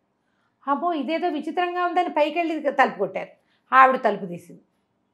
తలుపు తీసేసరికల్లా పెళ్ళయిందా మీ అమ్మ ఏదన్నాడు? మా అమ్మ ఎప్పుడో చచ్చిపోయిందండి. అయినా మా అమ్మ ఊళ్ళో లేదు. వేరే ఊళ్ళో ఉంటుంది. నువ్వెవరమ్మా అంటే ఇది. మా అమ్మ మీ మీ అమ్మ ఈ గందరగోళం. సిద్ధపురుషుడు ఏడి చొక్కా విప్పుకున్న వీడున్నాడు అంటుంది అమ్మాయి. గందరగోళంగా వాదించుకున్నారు. చివరికి ఒక గంటకి వాళ్ళకి అర్థమైంది. ఈ ముసలమ్మ మొదట ఖాతూన్ని తెచ్చింది ఖాతూన్ నుంచి మొహసిన్ దగ్గరికి వెళ్ళింది అక్కడి నుంచి హజ్ మహమ్మద్ దగ్గరికి వచ్చింది తర్వాత మోత గాడిద గాడిద పోయింది. హజ్ మహమ్మద్ సామాన్లు ఉన్న కొన్ని పట్టుకుపోయింది వీడి చొక్కా వీడి డబ్బులు పోయినాయి. ఖాతూన్ ఒంటి మీద బంగారం అనేది లేకుండా మొత్తం కొట్టేసింది. ఆవిడేమో నేను ఫలానా ఆయన భార్యని అని చెప్పింది. ముస్తఫా గారి భార్యని అనేసరికి ఒక తోడిచ్చి ముస్తఫా ఇంటికి పంపించారు. అక్కడి నుంచి ఆ ముస్తఫా వీళ్ళని పిలిచాడు ఆ నగర పాలకుడిని ఏమిటండి మీ వ్యవహారం? ఇట్లా చేస్తున్నారు ముసలమ్మలు? ముసలిది చేస్తుంటే బాగ్దాద్ నగరంలో ఎంతమంది ముసలమ్మలు ఉన్నారు. ఈ ముసిల్దాన్ని ఎలా గుర్తుపడతాం పైగా ముసిల్ది దాని రెగ్యులర్ వేషంలో లేదు. సూఫీ వేషంలో ఉంది. సరే చూద్దాం అనుకున్నారు. ఈ లోపల దిలైలా ఇంటికి వెళ్ళిపోయింది. వాళ్ళ అమ్మ కూతురు అడిగిందమ్మా ఏం చేసుకొచ్చావు? అంటే కాతూను బంగారం తెచ్చేసా. ఇంకోటి చొక్కా వాడి డబ్బులు తెచ్చేసా. కలంకారి వాడి సామాన్లు తెచ్చేసా ఈ గాడిద పట్టుకొచ్చేసా. ఇవాళకి నలుగురిని ఉద్ధరించాం. రేపటి సంగతి చూద్దాం. సరే వాళ్ళు వాళ్ళంతా వెతుకుతారమ్మా. నువ్వు బయటికి వెళ్ళబాక అని చెప్పింది కూతురు. దీని నగరం అంతా చెప్పుకుంటున్నారు. ఏమిటో ఎవరో ఇప్పుడు వీళ్ళు ఏమనుకున్నారు? మన నలుగురం వెతుకుదాం ఇప్పుడు. వాళ్ళని వాళ్ళు గుర్తుపడతారు ఇవన్నీ అవును. ఖాతూన్ బయటికి రాదు కానీ మిగిలిన వాళ్ళు ఉన్నారు కదా పనివాడు ముస్త ఇతను మొహసీను మొహమ్మద్ గాడిద బరువు వాడు. వీళ్ళు గుర్తుపడతారు గుర్తుపడతారు. వెతుకుదాం అనుకున్నారు. మేము వెతుకుతాం మీరు వెతకండి అని రాజభట్లకు చెప్పారు. పొద్దున ముందర సూఫీ సన్యాసిని వేషం వేసింది కదా ఈసారి ఏం చేసింది? ఒక సంపన్నుల ఇళ్ళలో పరిచారికలు ఉంటారు. వాళ్ళకు ఒక ప్రత్యేకమైన డ్రెస్సింగ్ ఉంటుంది. మరీ అంటే మాసిపోయిన బట్టలు అవి కాకుండా కొంచెం మంచి బట్టలు కొంచెం ఇదిగా అలాంటి ఓ డ్రెస్ వేసుకుని ఈ భాగ్యవంతులు ఉండే ఒక సందులోకి వెళ్ళింది. ఆ సందులో మహాభాగ్యవంతుల ఇంట్లో పిల్లకి ప్రధానం జరుగుతుంది. పెళ్ళి చూ పెళ్ళి అంటారు పెళ్ళి కుదిరింది అనమాట అయితే ఈ పెళ్ళి కూతురికి చిన్న పిల్లాడు తమ్ముడు ఒకడున్నాడు ఒక నాలుగేళ్ళ వాడు. వాడు పిల్లాడిని తల్లిని వదిలిపెట్టకుండా సతాయించేస్తున్నాడు. ఆ వచ్చిన పేరెంట్ వాళ్ళు వచ్చిన వాళ్ళు ఉంటారు కదా వాళ్ళు వీళ్ళు వాళ్ళని చూసుకొని ఇవ్వటం లేదు వాడు. గీబేమని గోల. చక్కగా పిల్లాడిని అలంకారం చేశారు మంచి బట్టలు వేశారు మెరిసే బట్టలు జోళ్ళు తర్వాత మెడలో గోలు ఇవి హారాలు చిన్న కుచ్చులు తలపాగా ఒకటి చేతులకేమో మురుగులు ఉంగరాలు అన్నీ ఉన్నాయి. ఓహో నస పిల్లాడు. కొంచెం జనాలను చూసేసరికి కొంతమంది పిల్లలు అట్లా క్రాంకీగా ఉంటారు కదా. ఈవిడ అడు తిరిగి ఇటు తిరిగి చూసుకొని ఇవ్వట్లేదని ఆ పెద్ద ఆవిడ ఏం చేసింది? ఆ పెళ్ళి కూతురు తల్లి ఈ పిల్లాడిని ఒక దాతి గప్పచెప్పి పాకెట్లో కూర్చో వీడిని అక్కడ ఆడిచ్చు. ఈ ప్రోగ్రామ్ అంతా అయ్యాక అప్పుడు తీసుకొద్దు గారని తినడానికి ఏదో ఒక తినుబండారం చేతిలో పెట్టి లోపల చుట్టాలను చూసుకుంటుంది ఆవిడ. ఈవిడేం చేసింది? మన దిలైలా అక్కడికి వెళ్ళి చూసింది దాది పిల్లాడిని పెట్టుకుంది. పిల్లాడి ఒంటి నిండా నగలు మెరిసిపోతున్నాడు చక్కగా పొతకలే బాగున్నాడు. వీడు నగలు కొట్టకపోతే ఏమిటి మన ప్రజ్ఞ? వీళ్ళు లాగేయాలని ఏం చేసింది? ఒక చెల్లని కానీ ఒకటి తీసి నాణ్యం అక్కడ దాది బయటకు వచ్చిందిగా అమ్మాయి చేతిలో పెట్టి. అమ్మాయి మీ పాత దాది చూడ్డానికి వచ్చింది సలాములు చెప్పడానికి వచ్చిందని అమ్మగారికి చెప్పి రావా అనేసరికల్లా కానీ చేతిలో పడేసరికి దాని దానికి ఉత్సాహం వచ్చింది. దానికేం చెప్తా కానీ అవ్వా ఇదిగో ఈ పిల్లాడు ఉన్నాడే ఈ పిల్ల చిన్న బాబు ఈయన కనుక కనపడితే అమ్మగారిని ఇక పని చేసుకొనివ్వడు లోపలికి వెళ్తే మరి ఏమంటావు? అంది. అనేసరికల్లా ఇదేలేంది దానికి ఏముంది పిల్లాడిని నేను పట్టుకోను అసలు వీడు పుట్టిందే నా చేతిలోను నేను పట్టుకుంటా నువ్వు వెళ్ళి అమ్మగారికి చెప్పిరా. అనగానే ఆ పా అదేమో ఆ దాసి లోపలికి వెళ్ళింది ఈవిడ పిల్లాన్ని ముచ్చుకుని ఉడాయించేసింది తీసుకొచ్చేసింది బయటికి. చకచక పైన తొడిగిన కోటు అంగరక ఆమె మెళ్ళ ఉన్న నగలు గిగలు అన్నీ ఊడదీసేసింది. వాడికి ఏదో తినుబండారం చేతిలో పెట్టేసరికి వాడు చప్పరిస్తున్నాడు ఈవిడ పని చేసేసింది. చేసేసి ఒక పెద్ద నగల వర్తకుడు కొట్టులోకి వెళ్ళింది. ఈ పిల్లాడు ఎవరి పిల్లాడు? నగల వర్తకులు వర్తకుల పెద్ద కొడుకు. వాళ్ళొక గ్రూప్కి ఒక మెదవాళ్ళు ఉంటారు కదా లీడర్లు. లీడర్ కొడుకు. పిల్లాడు చక్క వాళ్ళ నాన్నకి మళ్ళీనే ఉంటాడు. ఆ వెళ్ళిన నగల దుకాణంలో వాడు ఈ పిల్లాడిని గుర్తుపెట్టాడు. వర్తకల పెద్ద తాలూకు కొడుకు ఆఖరివాడు వీడు అని. ఏమిటబ్బా ఇటు వచ్చావు ఎవరు ఏమిటి వినమా అని అడిగాడు. అడిగేసరికల్లా ఇదిగో వీళ్ళ అక్కయ్యది ప్రధానం. సామాన్లు ఏవో ఒక వెయ్యి వెయ్యి రూపాయలకు తగ్గకుండా తీసుకురమ్మన్నారు. అమ్మగారు ఎవరో చదివించారట. మరి వెయ్యి నాణ్యాలు పంపిస్తారు. సరుకు ఇచ్చేస్తే అనేసరికల్లా వెయ్యి నాణ్యాలకి నాలుగు జతల గాజులు అవి ఇవి వస్తువులు ఒక కంటే కాసుల పేరు అన్నీ తీసి మూటగట్టాడు పిల్లాడిని కావాలంటే ఉంచుకో. అమ్మగారు డబ్బులు పంపిస్తారంటే పిల్లాడు ఎందుకమ్మా నాకు అక్కర్లేదు తీసుకెళ్ళమన్నాడు నాకు వద్దునైనా మోసుకెళ్ళొద్దు చచ్చే పోసుకొచ్చాను పిల్లాడిని మళ్ళీ మోసుకెళ్ళాలి. ఇక్కడే ఉంచు. వాళ్ళే బండి పంపించి పిల్లాడిని తీసుకెళ్తారు. అని నగలు పుచ్చుకెళ్ళిపోయింది వెయ్యి రూపాయలవి. వెయ్యి ఇవ్వలా. వెయ్యి అమ్మగారు పంపిస్తుంది. అదే కదా. ఎవరో చుట్టాలు వెయ్యి వరహాలకి నగలు తెప్పించుకుని చదివించుకోమన్నారు పిల్లకి. అలా కథ చెప్పింది. అయిందా? ఇంతలో అక్కడ పెద్ద రగడైపోయింది. పిల్లడిది దాస్ అంటుంది నేను బయటకు వచ్చినప్పుడు కనపడింది ముసల్ది మరి పని మనిషిలాగానే ఉంది వేషం. అమ్మగారికి సలాములు చెప్తానంది ఒక్క నిమిషం నేను ఇట్లా లోపలికి వచ్చేసరికి చిన్నబాబు లేడు ముసల్ది లేదు ఉమ్, ఇక లబో దిబో ఊరంతా వెతికేస్తున్నారు. ఇంతలో ఏమైంది? ఎంతసేపటికి ఎవరూ రావట్లేదు మధ్యాహ్నం భోజనాలు వేళ అయిపోతుంది అని చెప్పి ఈయన డబ్బుల కోసం పిల్లాడు చేయించుకుని వాకిట్లోకి వచ్చి నుంచున్నాడు. ఈ బళ్ళ మీద హడావిడిగా తిరుగుతున్నాడు అదిగదిగదిగో చిన్నబాబు అన్నారు. వీడి దగ్గర దొంగ పెదవా మా పిల్లాడిని ఎత్తుకొస్తావా? వీడి ఒంటి మీద నగలేవి బట్టలేవి అని అడిగాడు. నా వెయ్యి రూపాయల నగల మాట ఏమిటండి? అన్నాడు వర్తకుడు ఆ, ఒకళ్ళ మొహాలు ఒకళ్ళు చూసుకున్నారు. ఏం చెయ్యాలి? అక్కడి నుంచి వీళ్ళు పోయి ఆయన దగ్గరికి వెళ్ళారు. ఖాలిద్ ఆ నగర ఏమంటారు మన మెయింటెనెన్స్ చేస్తారు కదా ఆయన నగర పాలకుడు. ఆయన దగ్గరికి వెళ్ళి ఏమిటి మీ నిర్వాహకం? మీ కింద చూడండి ఇట్లా గోల అయిపోతుంది ముసలాళ్ళు ఇట్లా చేసేస్తున్నారు. డామ్ డూమ్ అన్నారు. సరే అందరూ వెతుక్కుంటున్నారు. వీళ్ళు వెతకడం మొదలుపెట్టారు. ఆ ముసలిది ఎక్కడ కనపడినా సరే దాని అంతు చూస్తానన్నాడు నగల వ్యాపారి. ముసలిది కనపడుతుంది అది ఒక వేషంలో ఉంటే కనిపిస్తుంది వీళ్ళకి. ఇంతలో ఏమైంది? గాడిద కుర్రాడు అటు ఇటు తిరుగుతున్నాడు ఒక చోట కనపడింది. వేషం మార్చినా గుర్తుపట్టేశాడు. వెళ్ళి పట్టుకున్నాడు దొంగ మొహం నా గొర్రె గాడిదేది అన్నాడు. అయ్యో గాడిదకి ఏమిట్రా ఎందుకురా అబ్బాయి అంత కంగారు పడతావు? మంగలి మసూద్ లేడు? మసూద్ దగ్గర పెట్టా నీ గాడిదని. నీకు ఇప్పిస్తాను రమ్మంది. వాళ్ళేమనుకున్నారు? ముందు వాళ్ళు ఆ మసూద్ దగ్గర కలుద్దామని అనుకున్నారు. ఒకసారి అంటే మనం కలవడానికి ఒక ప్లేస్? పెట్టుకున్నారు అనమాట వాళ్ళు వెతుక్కోవడానికి వాళ్ళు వెతుకుతున్నారు. వాళ్ళ దారిని వాళ్ళు ఇక్కడికి వచ్చి కలుద్దాం అనుకున్నారు. సరే ఆయమైంది మసూద్ దగ్గరికి తీసుకెళ్ళి పిల్లని బయట కూర్చోబెట్టి లోపల మసూద్ దగ్గరికి వెళ్ళి బాబు ఎంత కష్టం వచ్చిందోరా నాయనా నాకు అని ఏమిటి పిన్నమా నీకేం కష్టం వచ్చిందంటే బయటకు కూర్చున్నాడు మా పిల్లాడు. వాడికి పిచ్చెక్కిపోయిందిరా నాయన ఆ గాడిద అంటాడు ఎంతసేపును. ఆ గాడిద చచ్చిపోయింది వాడికి ఇష్టమైంది. ఆ చచ్చిపోయిన గాడిద కోసం నా గాడిదు అని ఏడుస్తాడురా ఎంతసేపు? అనేసరికల్ దాందేముంది? శుభ్రంగా బుర్ర నున్నగా గురిగి మూడు నిమ్మకాయలు మర్దం చేసామంటే పిచ్చి గిచ్చి వదిలిపోతుంది. అనగానే వాడు ఒప్పుకోడురా అంది. ఒప్పుకోవడానికి నేను చూస్తాగా పినమా నీకెందుకు? అంటే అలాగే నాయనా అని ఒక దినారం చేతిలో పెట్టింది. వాళ్ళు ఏం చేశారు? బా బాబు లోపల రాని పిలిచారు. నా గాడిదేది అన్నాడు. ముందులే నీ గాడిదే అని చెప్పి మా అక్కడ ముగ్గురు నలుగురు పని వాళ్ళు ఉన్నారు. మంగళ్ళు అందరు మర్దం చేసేవాళ్ళు. వాడి కుర్రాడి పెడరెక్కలు విరిచి పట్టుకున్నారు. కాళ్ళు చేతులు కట్టేశారు కుర్చీకేసి దొడ్లో తీసిపోయారు వాడి గుండు గీశారు నున్నగా మర్దం చేశారు. వాడు లబోదిబో వీళ్ళు ఆగలేదు. ఈ లోపల ఈవిడేం చేస్తుంది? వీళ్ళంతా దొడ్లోకి వెళ్ళారు కదా. ఆ దుకాణంలో ఉన్న కత్తులు కత్తెరలు సానలు అన్నీ ఓ సంచులు వేసుకుని మొత్తం పట్టుకెళ్ళిపోయింది లోపలికి వచ్చి చూశారు సరే వాడు మర్దన అయింది మర్దన యొక్క పినమా పని పూర్తయిందని చెబుదామని వచ్చాడు. చెప్తే ముసలిది లేదు సామాన్లు లేవు. అర్థమై ఉంటుంది. ఏరా దొంగ పినిగా మీ అమ్మేదిరా అని అడిగాడు. మా అమ్మ మా అమ్మ ఏనాడో చచ్చిపోయింది అంటాడు గాడిద కుర్రాడు. అనేసరికి గుండు చదువుకుంటాడు వాడు హాయిగా ఉంది. ఖర్చు లేకుండా గుండె వచ్చేసింది. ఇంతలో ఏమైంది? వాళ్ళిద్దరూ వచ్చారు. వ్యాపారస్తుడు వ్యాపారస్తుల పెద్ద ఇక్కడికి. ఇక్కడ కలుసుకుందాం అనుకున్నారు. ఊరంతా తిరిగారు ఈ ముసల్దాని. ఈ ఈ రూపంలో ఉన్న ముసలమ్మ కోసం. అందరూ చేసేసరికి వాళ్ళకి అర్థమైంది. అమ్మ మళ్ళీ దొరికాను రా అని. అర్థమైంది. సరే అందరూ కలిసి మళ్ళీ వెతకడానికి బయలుదేరారు. బయలుదేరేసరికల్లా వీళ్ళకి మళ్ళీ దిలైలా కనపడింది. అందరూ కలిసి మీద పడి పట్టేసుకున్నారు. పట్టేసుకుని ఖాళీద్ దగ్గరికి తీసుకెళ్ళారు నగరపాలకుడి దగ్గరికి. తీసుకెళ్ళి ఏమైంది? వీళ్ళంతా మగవాళ్ళు. ఎంతమంది వచ్చారు? మరి మొదట వచ్చిన మొహిద్దీను ఎవడో కుర్రాడు పెళ్ళి చేసుకుంటానన్నవాడు. కలంకారీ దుకాణం వాడు. గాడిద కుర్రాడు వాడి గుండు కొట్టించింది. అక్కడి నుంచి వ్యాపారస్తులు వ్యాపారస్తుల పెద్ద మంగలి మంగలి మసూదు ఇంతమంది అయ్యారు. వీళ్ళంతా మగవాళ్ళు ఆవిడొక్కతే ఆడది కదా. వీళ్ళు ఏం చేశారు? అక్కడ ఆడవాళ్ళని ఉండేటువంటి జనానా ఒకటి ఉంది అక్కడ ఉంటుంది వాళ్ళ ఇళ్ళలో ఈ జనానాలోకి ఆవిడని పంపించి వీళ్ళు బయట కూర్చున్నారు. ఏ గదిలోకి అయితే ఇది జనానా అని పంపించారు ఈ మన దిలైలా అక్కడ ఆగల. నడుచుకుంటూ గదులన్నీ తిరిగి చివరికి ఎక్కడికి వెళ్ళింది ఆ ఖాళీద్ గారి భార్య ఏదో పని చేసుకుంటుంటే అక్కడికి వెళ్ళింది మేడ మీదకి.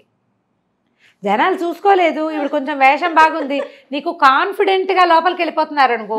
పట్టించుకోరు. పట్టించుకోరు ఎవరు. మనం అటు ఇటు చూసినా ఎవరంటారు అవును. మన అక్కడికి వెళ్ళిపోతే ఎవరు మనకేసి చూస్తారు? ఆ. ఈవిడ అంతే కాన్ఫిడెంట్గా ఖాళీద్ గారి భార్య దగ్గరికి వెళ్ళిపోయింది. ఆయన ఏదో పనిలో ఉన్నాడు. ఎక్కడికో వెళ్ళాడు బహుశా. ఆయన లేడు. ఈ కా దగ్గరికి వెళ్ళేసరికల్లా మరి సలాం చెప్పింది. మీ ఆయన గారు బానిసల్ని కొనుగోలు చేశారు. పన్నెండు వందలకి మా బానిసల్ని మీ వారికి అమ్మాను అన్నది. అనేసరికల్లా బానిసలా మా ఆయన చెప్పలేదే నాకేమీ అంది. కావాలంటే చూడండి అని మేడ మీద నుంచి కిందకి చూపించింది. కింద ఈ మొత్తం గుంపంతా మోసపోయిన గుంపు కింద పైనుంచి చూశాడు అబ్బో హట్టాకట్టగా బాగున్నారు శుభ్రంగా ఉన్నారు అని చెప్పి మంచి బేరమే చేశారు. కానీ నా దగ్గర డబ్బులు నేను తొందరగా వెళ్ళాలమ్మా చాలా అర్జెంటు పని ఉంది నాకు అన్నది. అనేసరికి మా ఆయన వచ్చి ఇవాళ డబ్బులు నా దగ్గర ఇద్దును కానీ ఒక వెయ్యే ఉందమ్మా పన్నెండు వందలు అంటివి కదా అన్ని లేవు నా దగ్గర అని. పన్నెండు వందలకి ఏముందమ్మా భయాన రెండు వందలు పుచ్చుకున్నాను కాదు వెయ్యే ఇవ్వండి నాకు చాలని. ఖాళీద్ గారి భార్య వెయ్యి రూపాయలు చేతిలో పెట్టింది. ఈవిడ శుభ్రంగా ఏమందంటే అది వినుంటిని దొప్పుకొని అమ్మమ్మ బానిసల్ని మా ఇంట్లో ఎన్నేళ్ళ నుంచో పనిచేస్తున్నారు. ఇప్పుడు వాళ్ళ ముందు నుంచి బయటికి వెళ్ళి వాళ్ళ మొహాలు చూడాలంటే చాలా బాధగా ఉందమ్మా అలవాటు పేరు దొడ్డిదారిని పంపిద్దరు బాబు బాబు మీకు పుణ్యం ఉంటుందని. అనగానే ఈవిడేం చేసింది పోలే ముసలిది పెద్దది ఎంత బాగా అడుగుతోంది కదా. వస్తే వెనకాల గది తలుపులు తీయండి. మామ బయటికి వెళ్ళిపోతుందని అమ్మ ఈ మామని అట్టించి పంపించింది. ఆవిడ దారిని ఆవిడ వెళ్ళిపోయింది. ఈ లోపల ఆయన నిద్రపోతున్నాడు ఖాళీద్దు అది. ఆయన నిద్ర లేచి వచ్చాడు. లేచి వచ్చి ఏదో పలహారం చేశాక భలే మంచి బేరం చేశారండి. పన్నెండు వందలకి మంచి దిట్టమైన బానిసల్ని పట్టారండి. బానిసలు ఏమిటి నేనెవరిని కొన్నాను అనేసరికల్లా ఆవిడంది అదేమిటి? బానిసలు ఇదిగో పైనుంచి చూస్తే కనపడుతున్నారు. చూస్తే వీళ్ళు బానిసలు కాదే అన్నాడు. నాకు తెలీదు వెయ్యి రూపాయలు ఇచ్చేసాను నేను ముసలావిడికి. వాళ్ళు మోసపోవటంతో పాటుగా ఎక్కడికి వెళ్తే అక్కడ? ఎక్కడికి వెళ్తే అక్కడ. అక్కడి నుంచి ఆయన మెట్లు దిగి కిందకు వచ్చాడు. వచ్చేసరికి ఏమిటి? మీరేనేమిటో నేను కొన్న బానిసలు అన్నాడు. ఆ రంగానే అందరూ ఓకమడిగా పొట్టాడారు బా బాబు మీరు మీ నిర్వాహకం ఏడిసినట్టే ఉంది. మేమేదో ఫిర్యాదుతోటి ఖైదీని అమ్మాయిని కూడా ఫిర్యాదులు మేము ఎవరిని పట్టుకొచ్చాము దొంగని. మేము ఫిర్యాదు చేయడానికి వచ్చాం. దొంగనేమో పట్టుకొచ్చాం. మీ ఇంట్లో పంపించాం. ఆ దాన్ని కాస్త చల్లగా అటేటో పంపేసి ఇప్పుడు మమ్మల్ని బానిసలు అంటారు ఏమిటండి? భలేవాళ్ళు మీరు అని పోటాడారు పోటాడేసరికల్లా అక్కడి నుంచి ఇంకేముంది చూస్తే? లేదు. వెనకాల తలుపులు ఎప్పుడో తెరుచుకుపోయినా ఏనాడో వెళ్ళిపోయింది. ఎటు వెళ్ళిందండి? ఎవరికి తెలుసు? వెళ్ళిపోయింది. అక్కడి నుంచి అందరూ కలిసి పొట్టాడారు ఈయన కాలేదు కంగారు పడ్డాడు. ఈ లోపల నగర వర్తకులు వర్తకుల పెద్ద వాళ్ళు వీళ్ళు అందరూ అరిచి వచ్చి పొట్టాడారు ఏమి నిర్వాహం చేస్తున్నారండి? ఇట్లా ఇళ్ళలోకి దూరి ఆడవాళ్ళ మీద పడితే ఎట్లా? మా ఇంట్లో మా పిల్లని తీసుకుపోయి మాకు వెయ్యి రూపాయలు బొక్క. వాళ్ళ ఇంట్లో కాతూన్ వంటి మీద నగలన్నీ కొట్టేసింది. ఇప్పుడు మేమేం చేయాలి? అని ఆయన కూడా వచ్చాడు. కాతూన్ వాళ్ళ ఆయన కూడా. ఆ, కాతూన్ మొగుడు మరి బంగారం అంతా అమ్మాయి పట్టుకెళ్ళిపోయింది కదా. దిల్లేలా? వచ్చాడు అతను కూడా. అందరు కలిసి పొట్టాడారు ఈయన కంగారు పడి కాలిదు ఇక్కడ ఉన్న ఆయన ఇది నగర పెద్ద ఏమనాలి నగర పాలకుడు బాబు మీకు నష్టం ఎవరెవరు జరిగిందో అవన్నీ నేను ఇప్పిస్తాను. మీలో ఎవరు ఆవిడని గుర్తుపట్టగలరో చెప్పండి. అంటే మేమందరం గుర్తుపడతాం. పది మంది సైనికులను ఇవ్వండి మేము వెతికి పట్టుకుంటామన్నారు. ఇక అక్కడి నుంచి మొదలుపెట్టి నగరం మీద పడి వెతికారు. సాయంత్రానికి దిలైలా దొరికేసింది వాళ్ళకి. పట్టేసింది పట్టేశారు.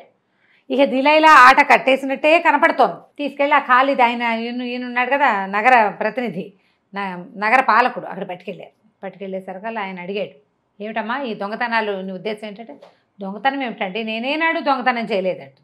ఈ వీళ్ళు ఉన్న వాళ్ళంతా ఇదే దొంగ మా దగ్గర నుంచి ఇలా కొట్టేసి అలా కొట్టేసి కథలు కథలుగా చెప్పుకుంటున్నారు వాళ్ళు. ఈవిడ ససేమిరా అంది. అనేసరికల్లా సరే ఏమనుకున్నారు? ఇప్పుడు ఇక్కడ ఇలా కాదు. ముందు ఈరోజు చీకటి పడిపోతుంది. చీ- సాయంత్రం అయిపోయింది కదా. రేపొద్దున్నే మొత్తం అందరినీ పిలిచి సాక్షులతో సహా విచారించి మొత్తం చుట్టుపక్కల వాళ్ళని కూడా పిలిచి విచారిద్దాం. మనమే నా వీళ్ళే కాకుండా కొత్త వాళ్ళని వాళ్ళని వీళ్ళని అందరినీ పిలుద్దాం అనుకున్నారు. పిలుద్దాం అనుకుని సరే ఈ చెరసాల ఇవి ఉంటు కారాగార అధికారి ఉంటాడు కదా ఆయన పిలుస్తారు. దీన్ని పట్టుకెళ్ళి మీ జైల్లో పెట్టుకోమంటే వాడు ఒప్పుకోడు. ఇవి చాలా మోసకారిగా ఉంది. ఎవరు పట్టుకుంటే వాళ్ళ నెత్తి మీద కుచ్చుల టోపీ పెడుతోంది? నా వల్ల కాదండి. తీరా నేను పెట్టుకుంటే వాళ్ళని నా నెత్తి మీదకి వస్తే? అదే కదా. వీళ్ళంతా చూడు ప్రతివాడు దొరికాడు ఆవిడికి. నేను దొరికిపోతే. ఎట్లా? అసలే మా ఇంట్లో చాలా సమస్యలు ఉన్నాయి నేను ఇప్పుడు పెట్టుకోను అన్నాడు. అనేసరికి సరే ఏం ఆలోచించారు? ఇది తెలివిగలది రెండోది అంత తేలిగ్గా నేరం ఒప్పుకునేటట్టుగా కూడా కనిపించట్లా. నే దొంగతనం అనేది నా జీవితంలో చేయలేదంటోంది. మొహం చూస్తే కొంతమంది మొహాలు పట్టుపడిపోతాయి ఇంత హడావిడి అయ్యేసరికి బిత్తరపోతారు. అంటే మరీ చేయి తిరిగిన దొంగ కదా రమ్మగారు? స్ట్రాంగ్ విమెన్ కాకలు తీరిన దొంగ. దాంతో వీళ్ళు ఏమనుకున్నారు? ఓపెన్ ప్లేస్లో కట్టేద్దాం. అందరూ చూస్తుంటారు. ప్రపంచం అంతా చూస్తుంది. సిగ్గుపడుతుందనా? సిగ్గని కాదు. అంటే ఎవరినైనా మోసపుచ్చేసేందుకు అవకాశం లేని పరిస్థితిలో ఉంటుందని చెప్పి ఏం చేశారు? సరే ఈ కొంచెం ఊరికి ఓ బయటగా వజ్రస్థానాలు అవి ఉంటాయి. ఇలా ఖైదీలను బంధించే ప్లేసులు. అక్కడ తీసిపోయి కాళ్ళు చేతులు పెడరెక్కలు విరిచి కట్టేశారు ఈ దిలేలని. మరి ఇప్పుడు కాపలా ఉండటానికి సైనికులు అందరూ తలా ఒక మాట మాట్లాడారు. మీ మా మా డ్యూటీలు కాదని అదని ఇదని. సరే వీళ్ళు ఏమన్నారు? ఫిర్యాదీలు ఉన్నారుగా ఐదారుగురు? మీరు ఉంటారంటే కాపలా మేమే ఉంటాం. దీన్ని ఎలాగైనా సరే రేపొద్దున పట్టించి మా సొమ్మంతా మేము వసూలు చేసుకుని తీరాలన్నారు. సరే మేమే కాపలా ఉంటామన్నారు. అనేసరికి సరే ఒప్పుకున్నారు. ఈ కథ అంతా మొదలై మూడు రోజులైంది. అట్లాగే కదా జరుగుతోంది. సరే ఏమైంది? ఒక చోట కట్టేశారు ఒక చోట. అది ఎక్కడ? ఒక మన ఈ బాగ్దాద్ నగరానికి బయట నుంచి జనాలు వచ్చి లోపల నుంచి వాళ్ళు వెళ్ళే అంటే దాదాపుగా ఆ పొలిమేరల్లో అనమాట ఇది. వీళ్ళు ఐదారుగురు కాపలా కూర్చున్నారు. సరే అందరూ తిండి తెప్పించుకున్నారు ఇళ్ళ దగ్గర నుంచి. ఈ డిలైలాన్ని కట్టేసారి తిండిలే తిప్పలేవు. మరి అందరూ తిన్నారు. తెగ తిట్టిపోసారు వంతుల వారీగా నువ్వు అలా చేసావు ఇలాంటి చేసావు నువ్వు ఇలాంటి దానివి నువ్వు నరకంలో పడిపోతావు అల్లా నిన్ను శిక్షిస్తాడు ఇట్లా నానా తిట్లు తిట్టారు. నోళ్ళు నొప్పి పుట్టాక భోజనాలు చేశారు. భోజనం చేశాక మూడు రోజుల నుంచి నిద్రలు లేవు కదా. పైగా ఒక హైరాణ ఒక టెన్షను. సడన్గా అమ్మాయి దొరికేసరికి అది రిలీవ్ అయిపోయింది. తిట్టేసరికి ఉన్న ఖర్చంతా తీరిపోయింది.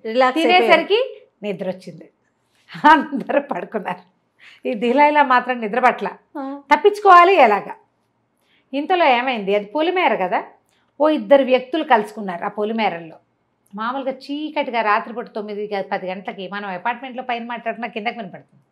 వాతావరణం ప్రశాంతంగా అయిపోతుంది. అనకుండా ధ్వని ఉండదు. పగటిపూట ఉండే సందడి లేకపోతే రాత్రిపూట మన మాటలు వేరేగా సౌండ్లో వినపడతాయి. ఈ పొలిమేరల్లోకి లోపలికి వస్తున్నవాడు ఒకడు. బాగ్దాద్ నగర ప్రవేశం చేస్తున్నవాడు ఒకడు. బాగ్దాద్లో నుంచి బయటికి వెళ్తున్నవాడు ఒకడు. ఇద్దరు వ్యాపారస్తులు తారసపడ్డారు. ఏ ఊరన్నా ఏ ఊరు తమ్మాయి అని మాట్లాడుకున్నారు. ఈ నగరంలోకి వస్తున్నవాడు అడిగాడు ఈ బాగ్దాద్ నగరంలో మంచి విశేషం ఏమిటి? ఇప్పుడే వస్తున్నాను నేను మొదటిసారి రావటం. అనేసరికి ఈ వెళ్ళేవాడు చెప్పాడు తేనె రొట్టెలు బాగుంటాయి ఈ ఊళ్ళో.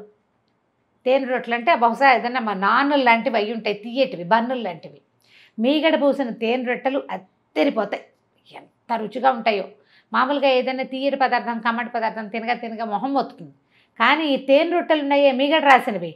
అవి అసలు మొహం మొత్తవు. నేను మూడు రోజులు ఉన్నాను. మూడు రోజుల నుంచి అవే తిన్నా పొట్ట పగిలేలాగా. ఇంకా తిందామని ఉంది. నాలుగు ప్యాక్ చేసుకుని పట్టుకెళ్తున్నా. అనేసరికి ఈ కొత్తగా వస్తున్న వాడు అలాగా? అన్ని చోట్ల దొరుకుతాయా? ఏదైనా ప్రత్యేకమైన కొట్ట అదే ఇదే అని అడిగాడు. ఐదారు చోట్ల దొరుకుతాయి ఏదో చెప్పాడు. చాలా పెద్ద పెద్ద వ్యాపారాలు చేశారు వాళ్ళు బాగా సంపాదించారు ఆ రొట్టెలు అంత ఫేమస్ అన్నాడు. మాట్లాడుకున్నారు ఆయన దారిని ఆయన పోయాడు ఈయన దారి ఈయన పోయాడు.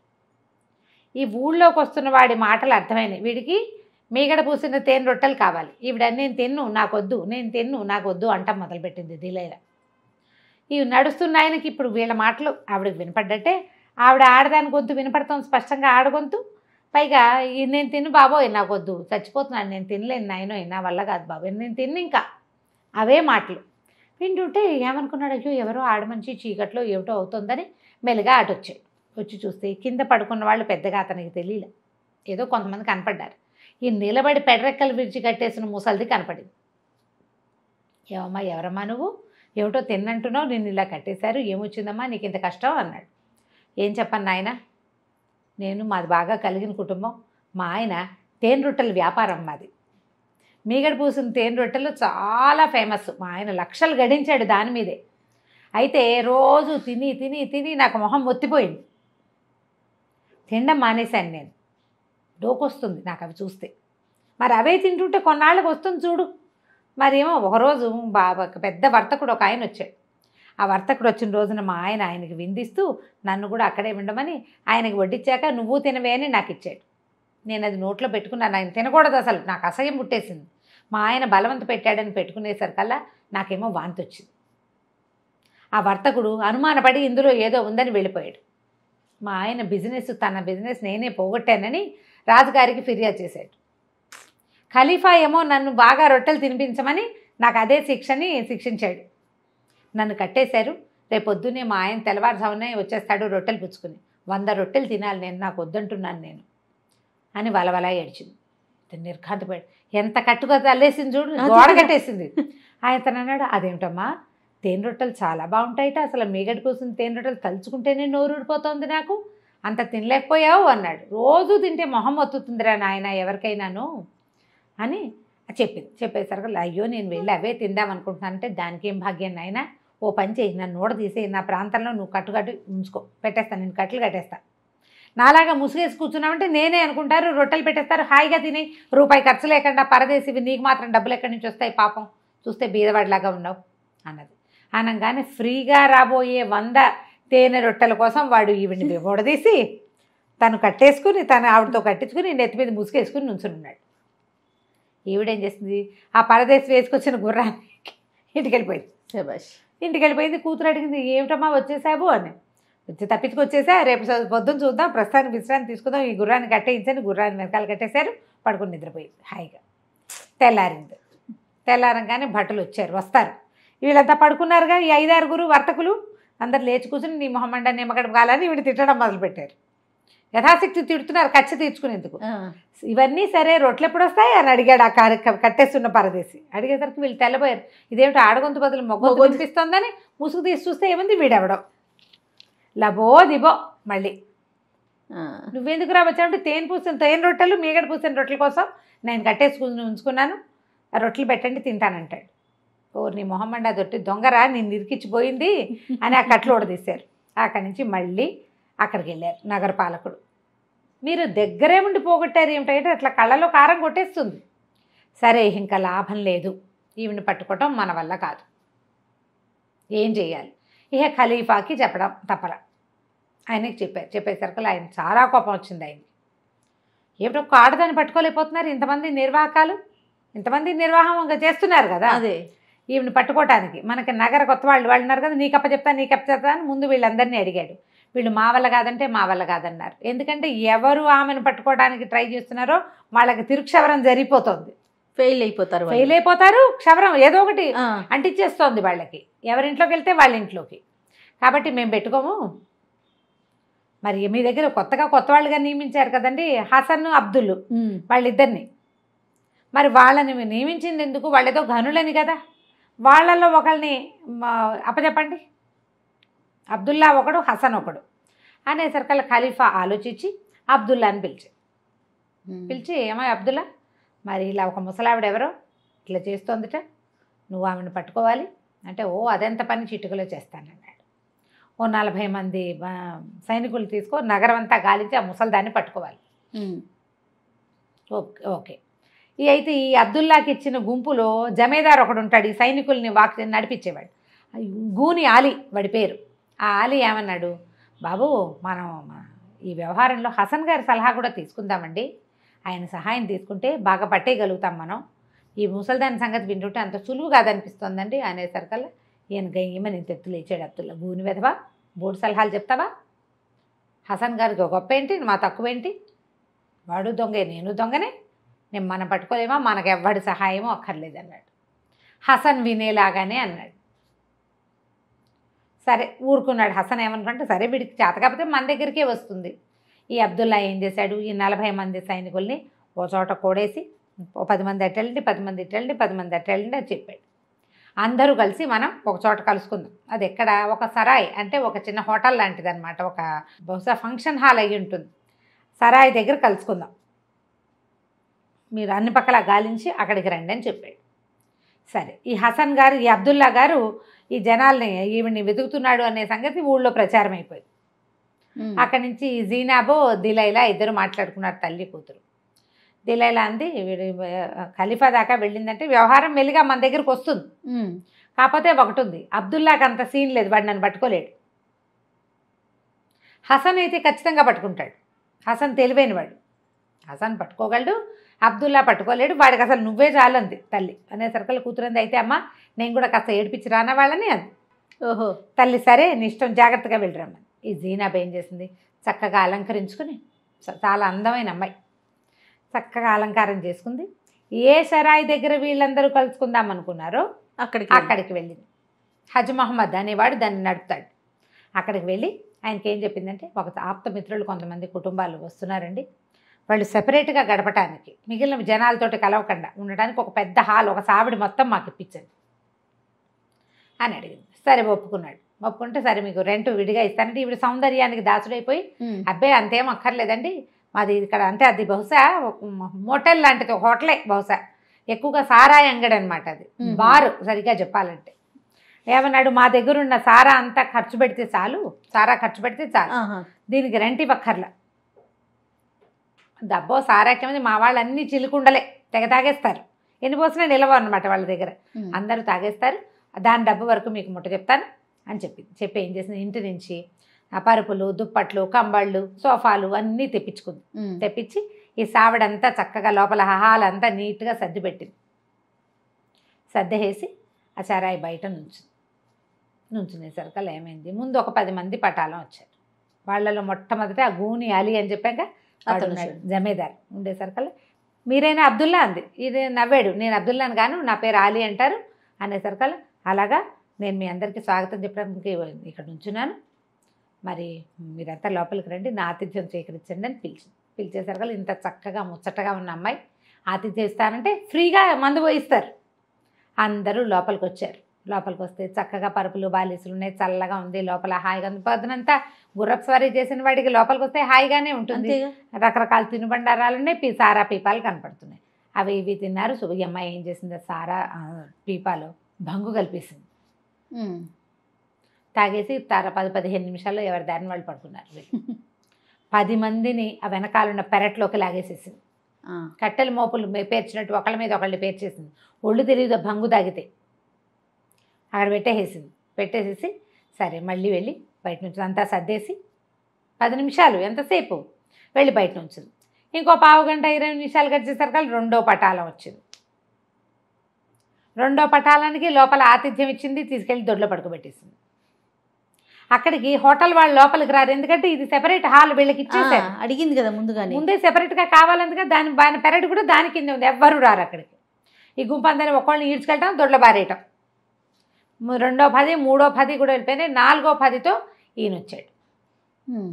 మా నలుగురు నాలుగు పదులు వచ్చేసాక ఇతను వచ్చాడనమాట ఇంకో పక్క నుంచి. అడిగింది అడిగాడు. అమ్మా మా సైనికులు వచ్చారంటే వచ్చారండి. అంతా ఇక్కడే ఉన్నారు. మరేమో మిమ్మల్ని మీకు అంతా వీళ్ళు డ్రెస్ తీసుకుంటున్నారు. మీకు కూడా కాస్త ఆతిథ్యం ఇద్దామని నేను చూస్తున్నాను. ఆలీ గారు కూడా వచ్చారు అని లోపలికి పిలుచుకెళ్ళి. పిలుచుకెళ్ళాక అమ్మాయి మీది ఏ ఊరు ఏంటి? అని అడిగాడు. ఏదో చెప్పింది. చెప్పాక ఆయన కూడా తాగబోసేసింది. దగ్గర కూర్చుని శుభ్రంగా తాగేయంగానే ముందు ఆయన మెడలో ఉన్న నగలు మెడకి చేతులకి ఉండేవన్నీ ఊడదీసింది. ఒక లంగోటి లోపల భాగాల్లో ఉండేటువంటి బట్టలు తప్ప పైన ఉండేటువంటి కవచాలు అవి ఉంటాయి కదా మొత్తం ఊడదీసేసింది. తీసుకెళ్ళి దొడ్లో పడుకోబెట్టేసింది.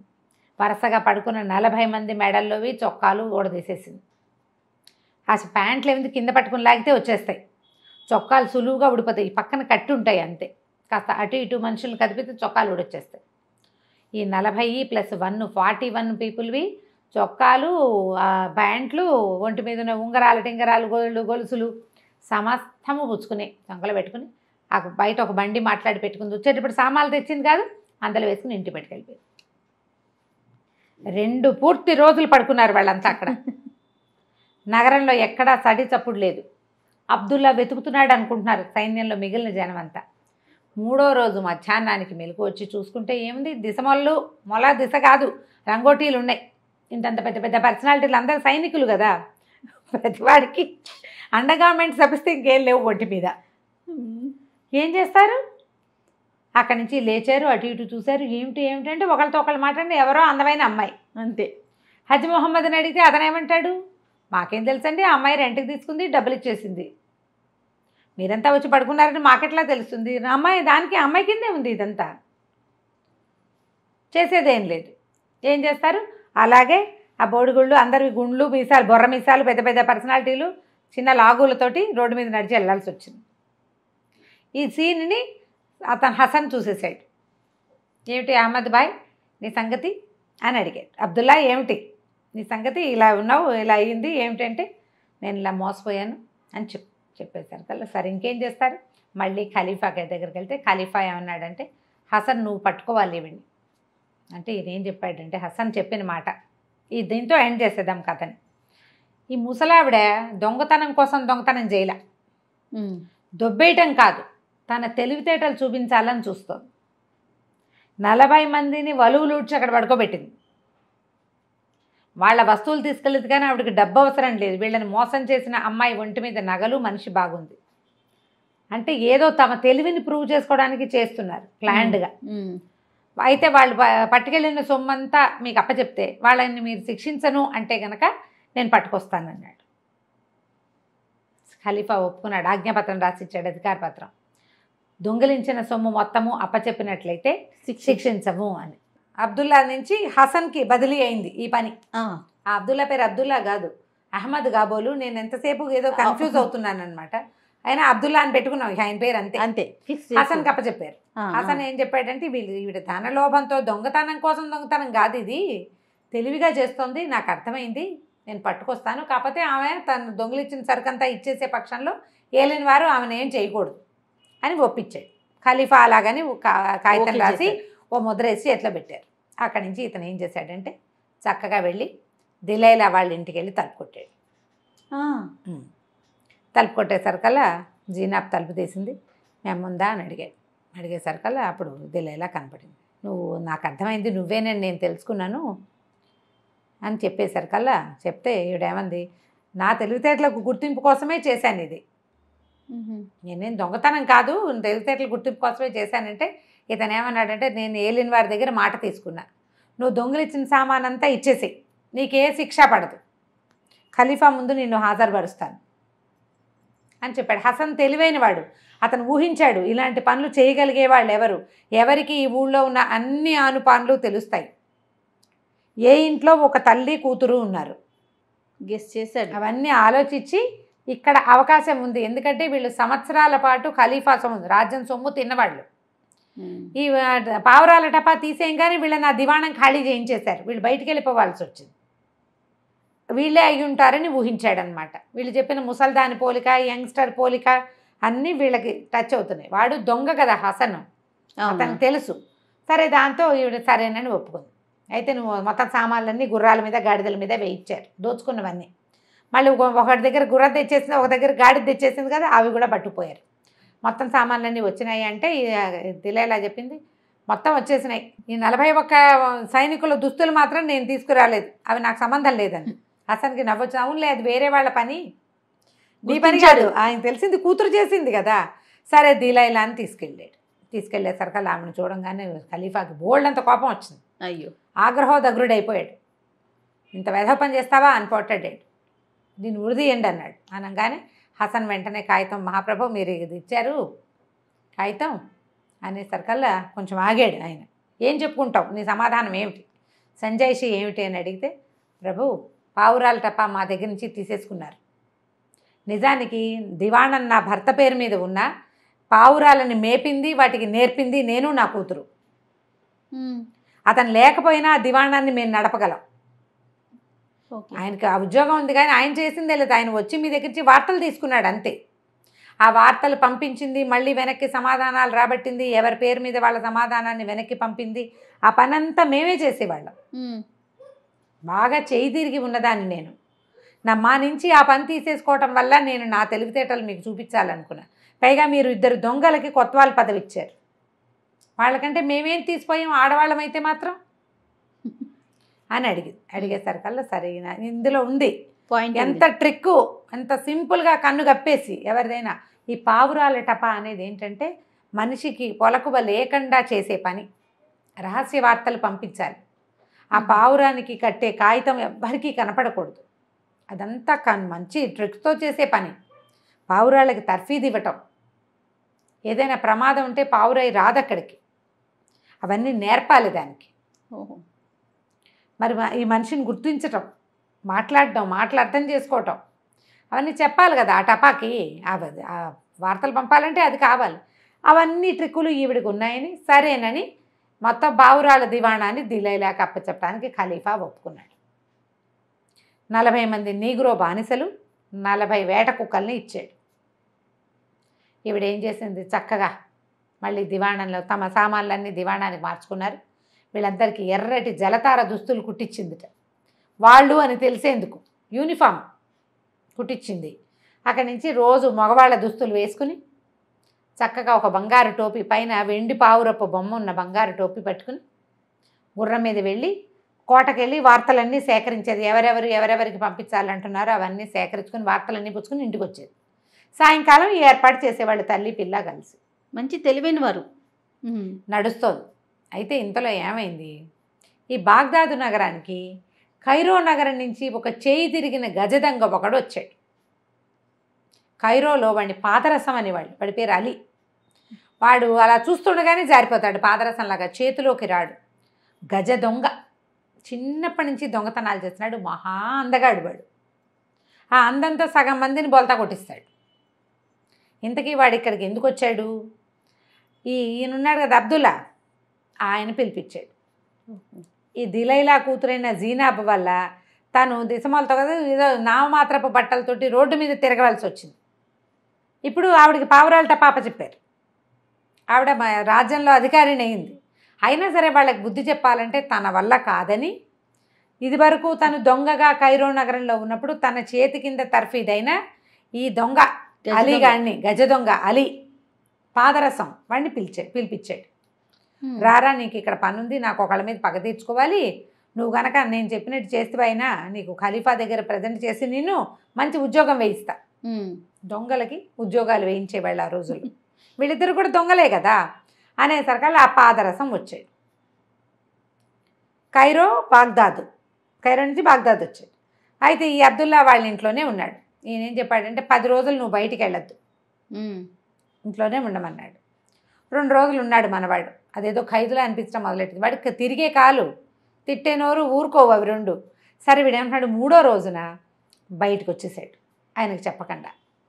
అదే సమయానికి ఈ చక్కగా మగవాళ్ళ దుస్తులు వేసుకుని గుర్రం మీద బంగారు టోపీ విత్ వెండి పావురం దాని మీద ఇరవై నలభై మంది జలతా దుస్తులతో ఎర్రటి బట్టలతో ఉన్నటువంటి బానిసలు చుట్టూ నడుస్తుండగా గుర్రం ఎక్కి వెళ్తున్న ముసలిదాన్ని చూశాడు. ఆశ్చర్యంగా చూస్తున్నాడు అట్లా. ఏమిటి వేషం? అసలు ఇదేమిటి? అని ఆ వింతని వాడు చూస్తూ ఉండగా ఆవిడ కూడా వీడిని చూసింది.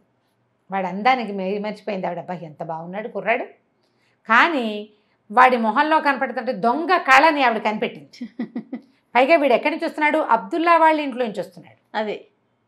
చూసింది. చూసి ఇంటికి వెళ్ళిపోయింది ఇంటికి వెళ్ళి కూతురికి చెప్పిందనమాట ఇవాళ నేను ఒక కుర్రాడిని చూశాను. వాడు ఇలా ఇలా ఉన్నాడు ఇంత పొడుగున్నాడు ఇంత తెల్లగా ఉన్నాడు ఇట్లా కండలు దేరున్నాడు కన్ను ముక్కు ఇలా ఉన్నాయి. వాడు అబ్దుల్లా ఇంట్లో నుంచి వస్తున్నాడు. ఈ ఊరికి కొత్త. వాడు నగరాలంతా అన్ని పక్కల వింతగా చూస్తున్నాడు. ఈ ఊరివాడు కాదు. అండ్ వాడి కదలికలు ఎలా ఉన్నాయంటే ఆ అబ్దుల్లా లాంటి కదలికలే.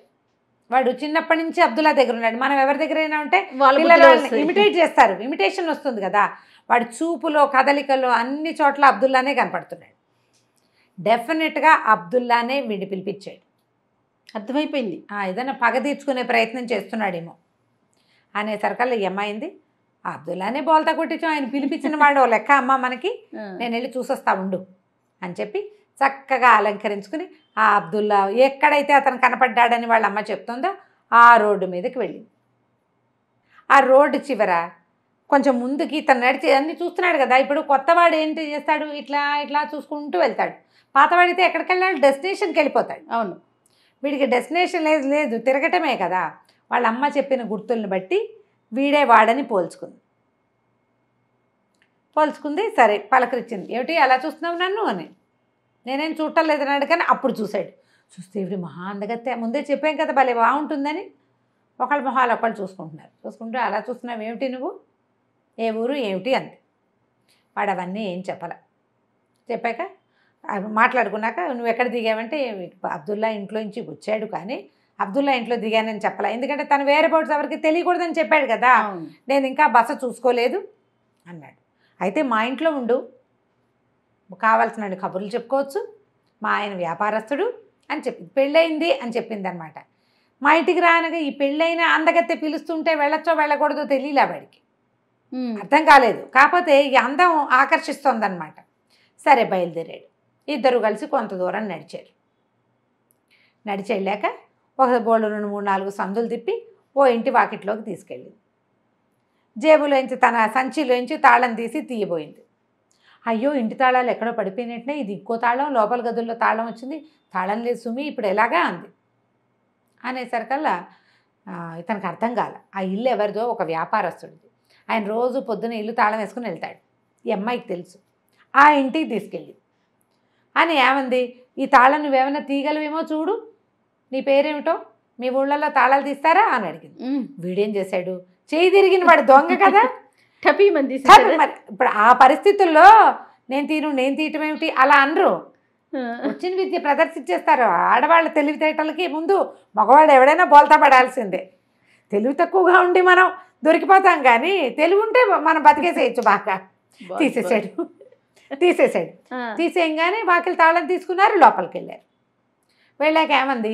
నువ్వు మరేమో "ఉమ్, నువ్వు హాల్లో కూర్చో నేను బావి దగ్గరికి వెళ్ళి నీళ్ళు తెచ్చి వంట చేస్తాను భోజనం చేద్దామంతే అనేసరికల్లా సరే బాగానే ఉందిగా హాల్లో కూర్చున్నాడు. ఈ అమ్మాయి ఏం చేసింది? ఒక అరగంట దాకా పావుగంట అటు ఇటు తిరిగి ఆ బావి దగ్గర నిలబడి కేకలు పెట్టింది. అయ్యో అయ్యో ఇంకేముంది? కొంప మునిగిపోయిందని అరిచింది. అరిచేసరికల్లా పరిగెత్తుకుంటూ వెళ్ళాడు అలి పాదరసం గారు. పరిగెత్తి ఏమైందంటే నా రవ్వల ఉంగరం నీళ్ళు తోడుతుంటే జారిపడిపోయింది. మా ఆయన చంపేస్తాడు. ఇప్పుడు ఎలాగా? ఏం చేయటం? అంతే అనేసరికల్లా మంది దూకేసాడు మరి దూకడు. నేను తీస్తానులే అన్నాడు. తీస్తావా. లక్షణం. సరే ఈ తాడు పట్టుకుని దిగు అని చెప్పేసి తాడేసింది. పైన కట్టి అంటే ఇట్లా గే- దీనిలాగా ఉంటుంది కదా పైన బావు మీద. అది పట్టుకుని దిగాడు. దిగి లోపలికి వెళ్ళాడు చూస్తున్నాడు చూస్తుంటే ఏం చేసింది ఈవిడ? తాడు కాస్త లాగేసింది పైకి పిల్ల. లాగేసి అహ్మద్ వచ్చి తీస్తాడు. అబ్దుల్లా గారు అహ్మద్ అంటే అదే అబ్దుల్లా వచ్చి తీస్తాడు. ఆయన వచ్చి తీసేదాకా అక్కడే కూర్చో. బావిలోంచి బయటికి ఎలా వస్తారు ఎవరైనా? ఎవరన్నా వెయ్యాలి కదా తాడు తాడు. వేయాలి అక్కడే కూర్చో అని చెప్పేసి బయటకు వచ్చేసి ఆ ఇల్లు యథాప్రకారం తలుపుల దగ్గర వేసి వెళ్ళిపోయింది. అయితే ఏమైంది? కాసేపటి వీడు ఏం చేస్తాడు? లోపల ఆ నూతిలో ఉన్నాడు. ఆ ఇంటి ఓనర్ వచ్చాడు. తలవాకిలి తాళం తీసుండేసరికి నిర్ఘాంతపోయాడు ఏమిట్రా తాళం తీస్తుంది అని లోపలికి వచ్చాడు. సరే పనివాడినేమో వేడి నీళ్ళు పెట్టమన్నాడు.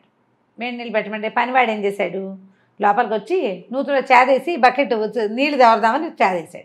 వెయ్యగానే వీడు పట్టేసుకున్నాడు లోపల. ఆ. పట్టుకునేసరికల్లా వాడు కంగారు పడి అయ్యో ఎవరో పట్టేసుకుంటున్నారండి. అసలు నూతుల నుంచి చేద యువతలకి రావట్లేదు. మీరు రండి. అని కేకేసుకొచ్చాడు. తీరా చూస్తే నూతులో పడి ఉన్నాడు. ఇంటి ఓనర్ కొళ్ళు మండిపోయింది. ఎవడరా నువ్వు? నా నూతులో చేరో దొంగ విధవా అని అడిచాడు ఇదేమిటి? ఇది ఏ ఊరు? అని అడిగాడు వీడు. తెలివి. ఏ ఊరు ఏమిట్రా? మా ఊరే అన్నాడు ఆయన. బాగ్దాద్ నగరం. బాగ్దాదా? నేను ఈజిప్ట్లో నైల్ నదిలో మునిగానండి అని చెప్పాడు అనమాట నైల్ నదిలో స్నానం చేయడానికి దిగాను. పెద్ద సుడిగుండంలో పడ్డాను. ఇక్కడ తేలానమాట బాగ్దాద్ నగరమా? మీ పేరేమిటండి? అన్నాడు. అనగానే ఈయన ఓరిని అక్కడ మునిగిన వాడు ఇక్కడ చేయలేడా? ఎంత బాగుంది అని చాదేసి వాడిని పైకి లాగారు. పొడి బట్టలు ఇచ్చారు. బట్టలు ఇచ్చారు. సరే అక్కడి నుంచి ఏమైంది? ఈ లోపల అక్కడ ఏమైంది? అబ్దుల్లా ఉన్నాడు కదా ఈ కుర్రాడు వాడి ఇంట్లో ఉన్నాడు. ఆయనకి వీడి ఇంట్లో కనబడపోయేసరికి ఆయనకి టెన్షన్ పుట్టింది. ఏమిటి వీడు ఇంకా రాలేదు? అర్ధరాత్రి అయిపోతుంది. వీడు ఎక్కడికి వెళ్ళిపోయాడు? ఏం చేసేస్తున్నాడో వీడు అని ఆయన ఏం ప్లాన్ మీద తెచ్చాడు? దిలైలాని జీనాబ్కి బుద్ధి చెప్పడానికి తెచ్చాడు. ఆ. వీడు పోయి ఎక్కడైనా ఇరుక్కున్నాడేమో ఏ దొంగతనంలోనని ఆయన భయంగా ఉంది. తీరా ఏం చేశాడు? హసన్ కూడా వచ్చాడు. వచ్చేసరికల్లా ఇద్దరు ఆలోచించుకుంటున్నారనమాట ఏమయ్యాడు? ఏమయ్యాడు కుర్రాడని. వీడి పోయి పైకి లేచి పొడి బట్టలు కట్టుకుని వాళ్ళ ఇంట్లో వాళ్ళు ఇచ్చారు ఇంకో జత బట్టలు. తన బట్టలు అక్కడ పారేసి వాళ్ళు ఏదో తిండి పెడితే తిని మెల్లిగా అబ్దుల్లా గారు ఏ సందులు బోడు సందులు తిప్పింది వీడికి? ఆ ఊరేం తెలుసు? వాడు బాగుందా ఊరు తెలియదు వాడికి. వాడు అప్పుడే కదా వచ్చాడు. ఆ సందు ఈ సందు మొత్తాన్ని వెతుకుంటూ ఎలా ఆగోలాగా అబ్దుల్లా వాళ్ళ ఇంటికి చేరాడు. చేరేసరికి వాళ్ళు తలుపు కొట్టేసరికి వాళ్ళు తెల్లబోయారు ఏడా ఏమిట్రా అంటే ఇలా ఇలా జరిగిందన్నాడు. జరిగిందనేసరికి హసన్ పక్కపక్క నవ్వాడు ఖచ్చితంగా ఈ ఊళ్ళో ఇంత పని చేయగలిగిందంటే అది దిలైలా కూతురే. ఇంకోళ్ళ వల్ల కాదు. గెస్ చేసేసారు ఏరా ఆ పిల్ల దొరికితే ఏం చేస్తా అంటే పెళ్ళి చేసుకుంటానండి అన్నాడు వీడు. వీడు ఇంత చేసినా పెళ్ళి చేసుకుంటావురా అంటే ఏం చేసినా చేసుకుంటానండి. ఎంత అందగత్తో? అన్నాడు. అనేసరికల్లా ఈయన అన్నాడు. హసన్ బాగుందిరా నువ్వు అందగాడివే మీ ఇద్దరికి జోడు సరిపోతుంది. సరే ఇప్పుడు ఏం చేయాలంటే ప్లాను. ఈ అబ్దుల్లా అడిగాడు అనమాట నువ్వు మా వాడికి సహాయం చెయ్యి నేను దిలైలా మీదే పగ తీర్చుకోవాలి. ఓహో. వీడికేమో ఆ పిల్ల నచ్చింది. కాబట్టి వీడికి పెళ్ళి చేయాలి. ఏం చేస్తావో చేయమన్నాడు. హసన్ ఏం చెప్పాడంటే వీడికి చెవిలో ఒక ఐడియా చెప్పాడు. వీడు రెండు మూడు రోజులు చక్కగా కులాసాగా అటు ఇటు తిరిగి చుట్టుపక్కల దారులు సందులు దిలైలా ఇంటి దారి ఏ పక్క నుంచి అయినా అబ్దుల్లా ఇంటికి ఎలా వచ్చేయాలి అన్నీ చూసుకున్నాడు. చూసుకుని ఒకరోజు ఒక బానిస వేషం వేసుకున్నాడు నీగ్రో బానిస వేషం వేసుకున్నాడు. బట్టలు కూడా అలాంటివే వేసుకుని కాసిన డబ్బులు భంగు చేత్తో పుచ్చుకుని అటువైపు వెళ్ళాడు.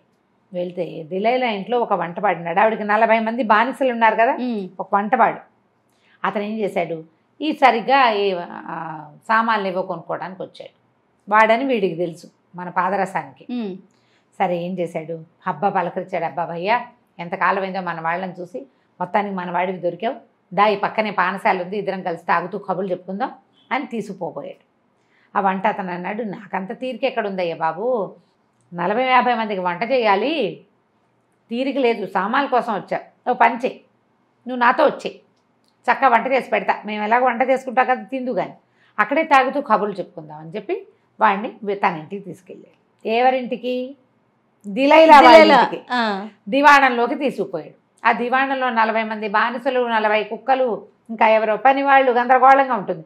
అందులో ఈ కొత్తగా వచ్చిన వాడెవడో ఎవరికీ అసలేదు. దిలైలా ఆవిడ పని మీద ఆవిడ ఉంది. సరే వీడు చేశాడు? ఇది పొద్దున్న పదకొండు గంటల వేళ సామాన్లకు వచ్చింది. మధ్యాహ్నానికి వంట అయింది. కబుర్లు చెప్పుకున్నారు. సాయంకాలపు వంట. సాయంత్రపు వంట ఏంటంటే మధ్యాహ్నం వంట లైట్గా చేసి సాయంత్రం వంట ఎక్కువ చేసుకుంటారు. తాగడానికి ద్రాక్ష సారా కూడా ఇస్తారు అందరికీ. ఈ వంటవాడు వంట అందించి వాళ్ళకి సామాన్లు సర్దిచ్చే లోపల ఇది ఏం చేశాడంటే వాళ్ళు తాగే సారాలో భంగు కలిపేశాడు. కుక్కలకి పోసే పాలల్లో కూడా భంగు కలిపేశాడు. రాత్రి ఎనిమిదిన్నర తొమ్మిది అయ్యేసరికి అన్నాలు తిని చక్కగా తిళ్ళు తిని సారా పుచ్చుకున్న వాళ్ళందరూ సమస్తమైన వాళ్ళు తాగుతారు. ఆ మ్మ్. దేశాలు అట్లాంటివి. అందులో ఆడమగ పిల్ల మేక తేడా ఏం లేదు. ఆడవాళ్ళిద్దరూ పనిచేసే ఆడంగులు ఈ నలభై మంది బానిసలు కుక్కలు సమస్తమైన వాళ్ళు వంటవాడితో సహా పడుకున్నారు. సరే ఇతను ఏం చేశాడు?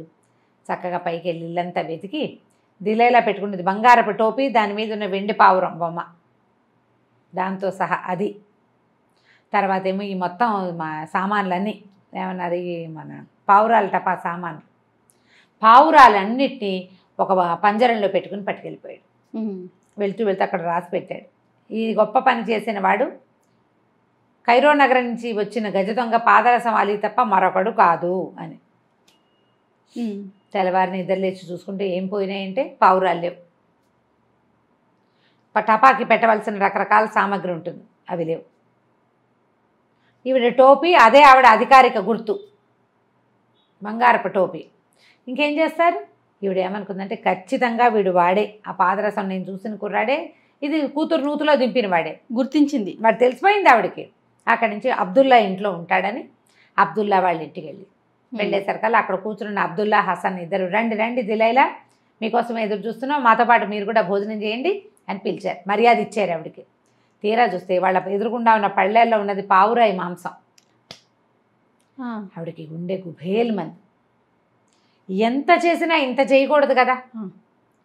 నా మీద పగ తీర్చుకోవాలంటే ఖలీఫా వస్తువుని ఇలా భోజనం చేయొచ్చా మనం? దొంగలకు కూడా ఒక న్యాయం ఉండాలి. ఎంత దొంగ అయినా ఒక నీతి ఉండాలి కదా అనేసరికి హసన్ వెంటనే ఆవిడ అనునయించాడు ఖలీఫా సామాన్లన్నీ ప్రశాంతంగా ఉన్నాయి ఏమీ ఇబ్బంది లేదు. ఇది మేము వేరే చోట నుంచి తెప్పించాం. మిమ్మల్ని భయపెట్టడానికి చేసిన పనే కానీ ఇవి కాదు. మీ పావురాలు సేఫ్గా ఉన్నాయి అని ఆ పాదరసాన్ని పిలిచి పరిచయం చేశారు. సరే సర్దుకున్నారు అంతా. ఆ పాదరసాన్ని పిలిచి ఈ అబ్బాయికి మీ అమ్మాయిని పెళ్ళి చేసుకోవాలనుంది మీ పిల్లని వీడికి ఇచ్చి పెళ్ళి చేయండి అని అడిగారు. ఆవిడంది అయ్యా నా చేతిలో ఉంటే మహత్తరంగా చేద్దును కానీ నా చేతిలో లేదు. నా భర్త మా పిల్ల పుట్టినప్పుడే. నా పిల్ల పెళ్ళి బాధ్యత నా పెద్ద అన్నయ్యకి అప్పచెప్పాడు. జురేక్ అతని పేరు. పరమ దొంగ పూర్వకాలంలో. మీకు తెలుసు కదా వాడు ఎంత దొంగ. ఎందుకంటే వీళ్ళు దొంగలే. అదే కదా. వాడు తెలియకుండా ఉండడు వీళ్ళకి. అతందే పూచి. ఆయన ఏదంటే అది ఆయన ఒప్పించుకుని పిల్లని పెళ్ళి చేసుకోవచ్చు. మా పిల్ల పెళ్ళి నా పూచి కాదు. చిన్నప్పుడు అప్పచెప్పేసాం అలాగే ఉంది. పిల్ల నాతో ఉంటుంది కానీ పూచి మాత్రం అయిందే కాబట్టి ఆ జూరెక్కని కనుక్కోవాలి. అనేసరికల్లా సరేనన్నాడు. ఈ జురేక్ అనేవాడు సామాన్యుడు కాదు. ఉహు. వాడి బోళంతుంది చరిత్ర. ఈ దిలైలా ఎలా ఖతర్నాకు? ఈవిడికంటే ఎక్కువ వాళ్ళ వాళ్ళ అన్నయ్య. ఇక్కడి నుంచి మనకి ముసల్దమ్మ గారి కథ కనపడదు. దిలైలా కథ కనిపించదు పాదరసం చేసిన కథే కనిపిస్తుంది అనమాట. ఇది ఈ చివరి రెండు భాగాలు పాదరసం కథే సరే ఆవిడ ఏం చేసింది? తన వెండి టోపీ బంగారు టోపీ అవి పుచ్చుకుని వెళ్ళిపోయింది. జీనాబ్కి చెప్పింది వాడు నిన్ను పెళ్ళి చేసుకోవాలనుకుంటున్నాడు. మీ మావయ్య దగ్గరికి వెళ్ళాడు. మావయ్య ఒప్పించుకొస్తాడు అని. మావయ్య ఆ జురేక్ అనేవాడు పరమ దొంగ. వాడికి మీద ఒక్క చోట కూడా అభియోగం ప్రూవ్ అవ్వాల. ఇంట్లో కూర్చొని దొంగతనం చేయించగలడు. చాలా తెలివైన వాడు వాడంత తెలివైన వాడు కావటం వల్లే వాడి చెల్లెలు తీలేలాక అంత తెలివి ఉంది ఆ. ఈవిడ అలాగే చేసింది కదా ఆనుపాను లేకుండా. అయితే ఏం చేస్తున్నాడు? పెద్దవాడైపోయాడు అతను. వే వ్యాప చేపల వ్యాపారం చేస్తున్నాడు. వేయించిన చేపలు. చేపలు వేయించి అమ్మేస్తాడు. అతని బిజినెస్ అదే.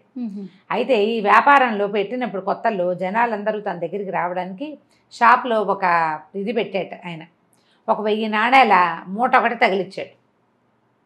ఎవరైనా తీసుకోవచ్చు.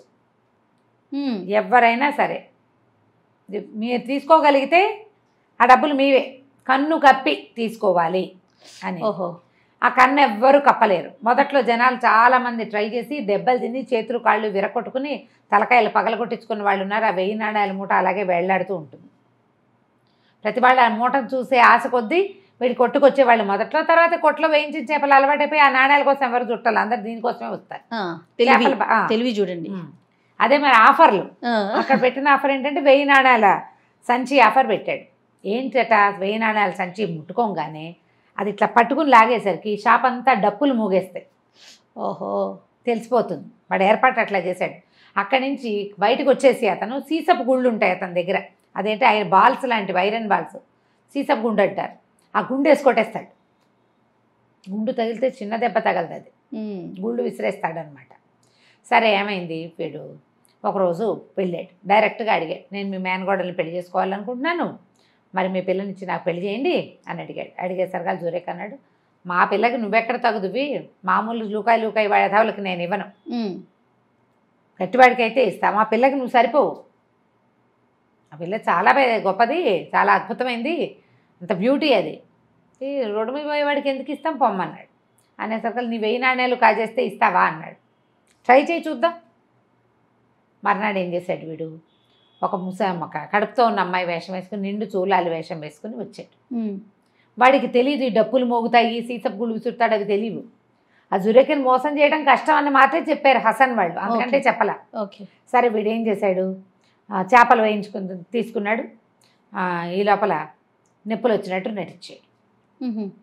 అయ్యో అయ్యో ఈ మైవరం నిండు చూలాలి నొప్పులు వచ్చిందని భార్యను పిలవడానికి లోపలికి వెళ్ళాడు. ఆయన. లోపలికి వెళ్ళంగానే వీడేం చేశాడు? చటుక్కుని ఎగిరి ఆ మూట పట్టుకున్నాడు. మూట పట్టుకున్న మరుక్షణం షాప్ అంతా డమ డమ టప టప అని సప్పుళ్ళు వచ్చేసినాయి. రావటం ఏంటి? ఆ జురేకు లోపల నుంచి పరిగెత్తుకొచ్చి దొంగ వేదవా నువ్వు వేషం వేసావా? అని చెప్పేసి గుండు విసిరి కొట్టాడు. ఓహో. కొట్టేసరికల్లా వీడు పరిగెత్తాడు. తను పట్టుబడిపోయానని పాదరసం పరిగెత్తేశాడు. ఈ గుండు తగిలేసరికల్లా ఢామ్ అని పడ్డాడు.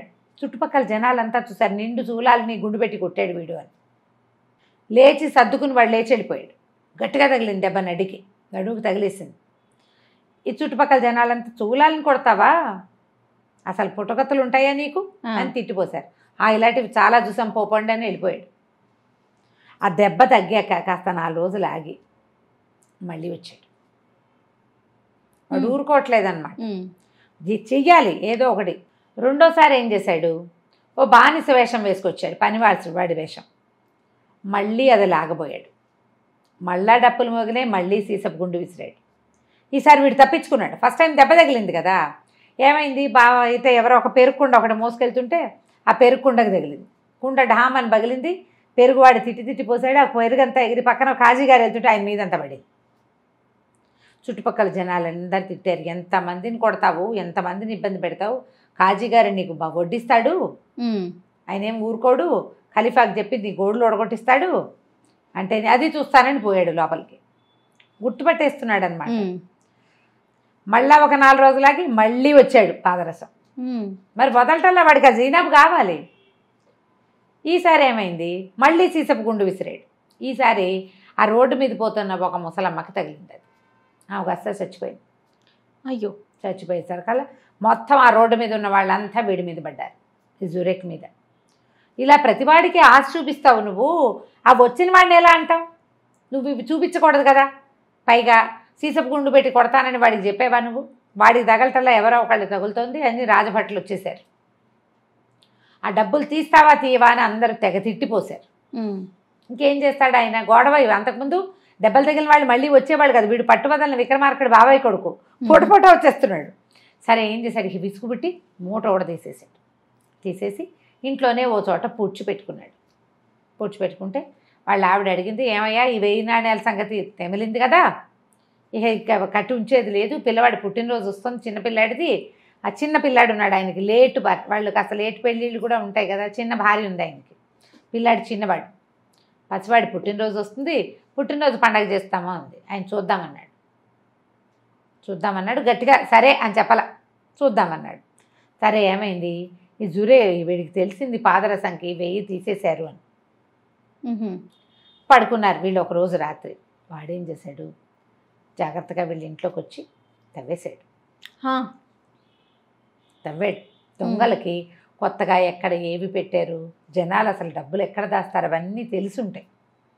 అయితే ఈయన పడుకున్నాడు జురేకు. ఆయనకు ఒక కల వచ్చింది ఏదో పక్షిట తన డబ్బులు పెట్టిన చోట గీరుతున్నట్టుగా కల వచ్చింది వచ్చేసరికల్లా భార్యకి ఏమే ఏదో పక్షి గీడుతున్నట్టుంది చూడవే చూడవే అని పె- కేకేశాడు. ఆవిడంది నువ్వు డబ్బులు పాతి పెట్టింది సరేలే. డబ్బులు పాత పెట్టింది సరే. నువ్వు సరైన చోటే పెట్టావు. ఎలాగో మనం కుండలు పెట్టుకునే దాని కిందే కదా పెట్టావు. కాబట్టి ఏం పర్వాలేదులే పడుకోబోయాను అని లోపలికి వచ్చిన వీడు పాదరసం కుండలు పెట్టిన దాని పక్కన తవ్వాడు అనేది తెలిసిపోయింది వాడికి. వాడు ఏం చేశాడు? తవ్వేసి తీసుకె తీసేసుకున్నాడు.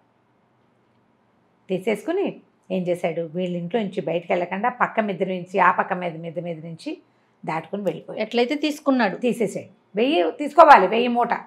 అక్కడి నుంచి ఈయనకి మెలకు వచ్చింది. మెలకు వచ్చి ఎందుకు నాకు అట్లా వచ్చిందని చూస్తే డబ్బులు లేవు. అమ్మా వీడే వచ్చాడు. వీడు అబ్దుల్లా ఇంట్లో ఉన్నాడు. అవన్నీ విషయాలు తెలిసిపోయినాయి. చకచక ఏం చేశాడు? కుర్రాడేమో ఒక మాదిరిగా వెళ్ళాడు. వాడికి ధైర్యంగా వాని తన పని అయిపోయింది కదా వాడు పారిపోలా తాపీగా వెళ్ళిపోయాడు. ఈయన ఏం చేశాడు? ఒక్క పరుగున తన ఇంటి నుంచి అబ్దుల్లాకి వెళ్ళే సులువైన మార్గం తెలుసు వాడికి. జురెక్ దొంగ కదా. వీడేమో ఈ ఊరి దొంగ లోకల్. వాడు లోకల్ కాదు. వాడు నిదానంగా వెళ్తున్నాడు. సరే ఈయన ఏం చేశాడు? చకచకా వెళ్ళిపోయి అబ్దుల్లా వాళ్ళ ఇంటి లోపలికి ప్రవేశించాడు. ప్రవేశించి వాకిలి దగ్గరే కూర్చున్నాడు. ఈ జూరేకి పాదరసం ఏం చేశాడు? అబ్దుల్లా ఇంటికి వెళ్ళి తలుపు కొట్టాడు. ఆ, ఈయన వెంటనే వీడు కొంచెం నిద్ర గొంతుతోటి ఏంట్రా? పాదరసం వెళ్ళిన పని అయిందా? అని అడిగాడు అడిగేసరికల్లా నిద్రపోయే గొంతులు అందరి గొంతులు ఒకేలా ఉంటాయి. అయింది బాబా అని చెప్పాడు వీడు. ఏది ఏం చేసుకొచ్చావు? అంటే వెయ్యి నాణ్యాలు తెచ్చేసా అన్నాడు. ఏది ఇందులో పెట్టు అని ఒక తట్టని తలుపు కింద నుంచి జరిపాడు. వాడేముంది అబ్దుల్లా అడుగుతున్నాడని అక్కడ పెట్టాడు. దొంగల పద్ధతులు అవి. ఆ మూట లోపలికి వెళ్ళిపోయింది. పది నిమిషాలైనా తలుపు తీయలే. వీడికి డౌట్ వచ్చింది. ఏమైంది? వీడు తీయట్లేదు. ఏంట్రా అని.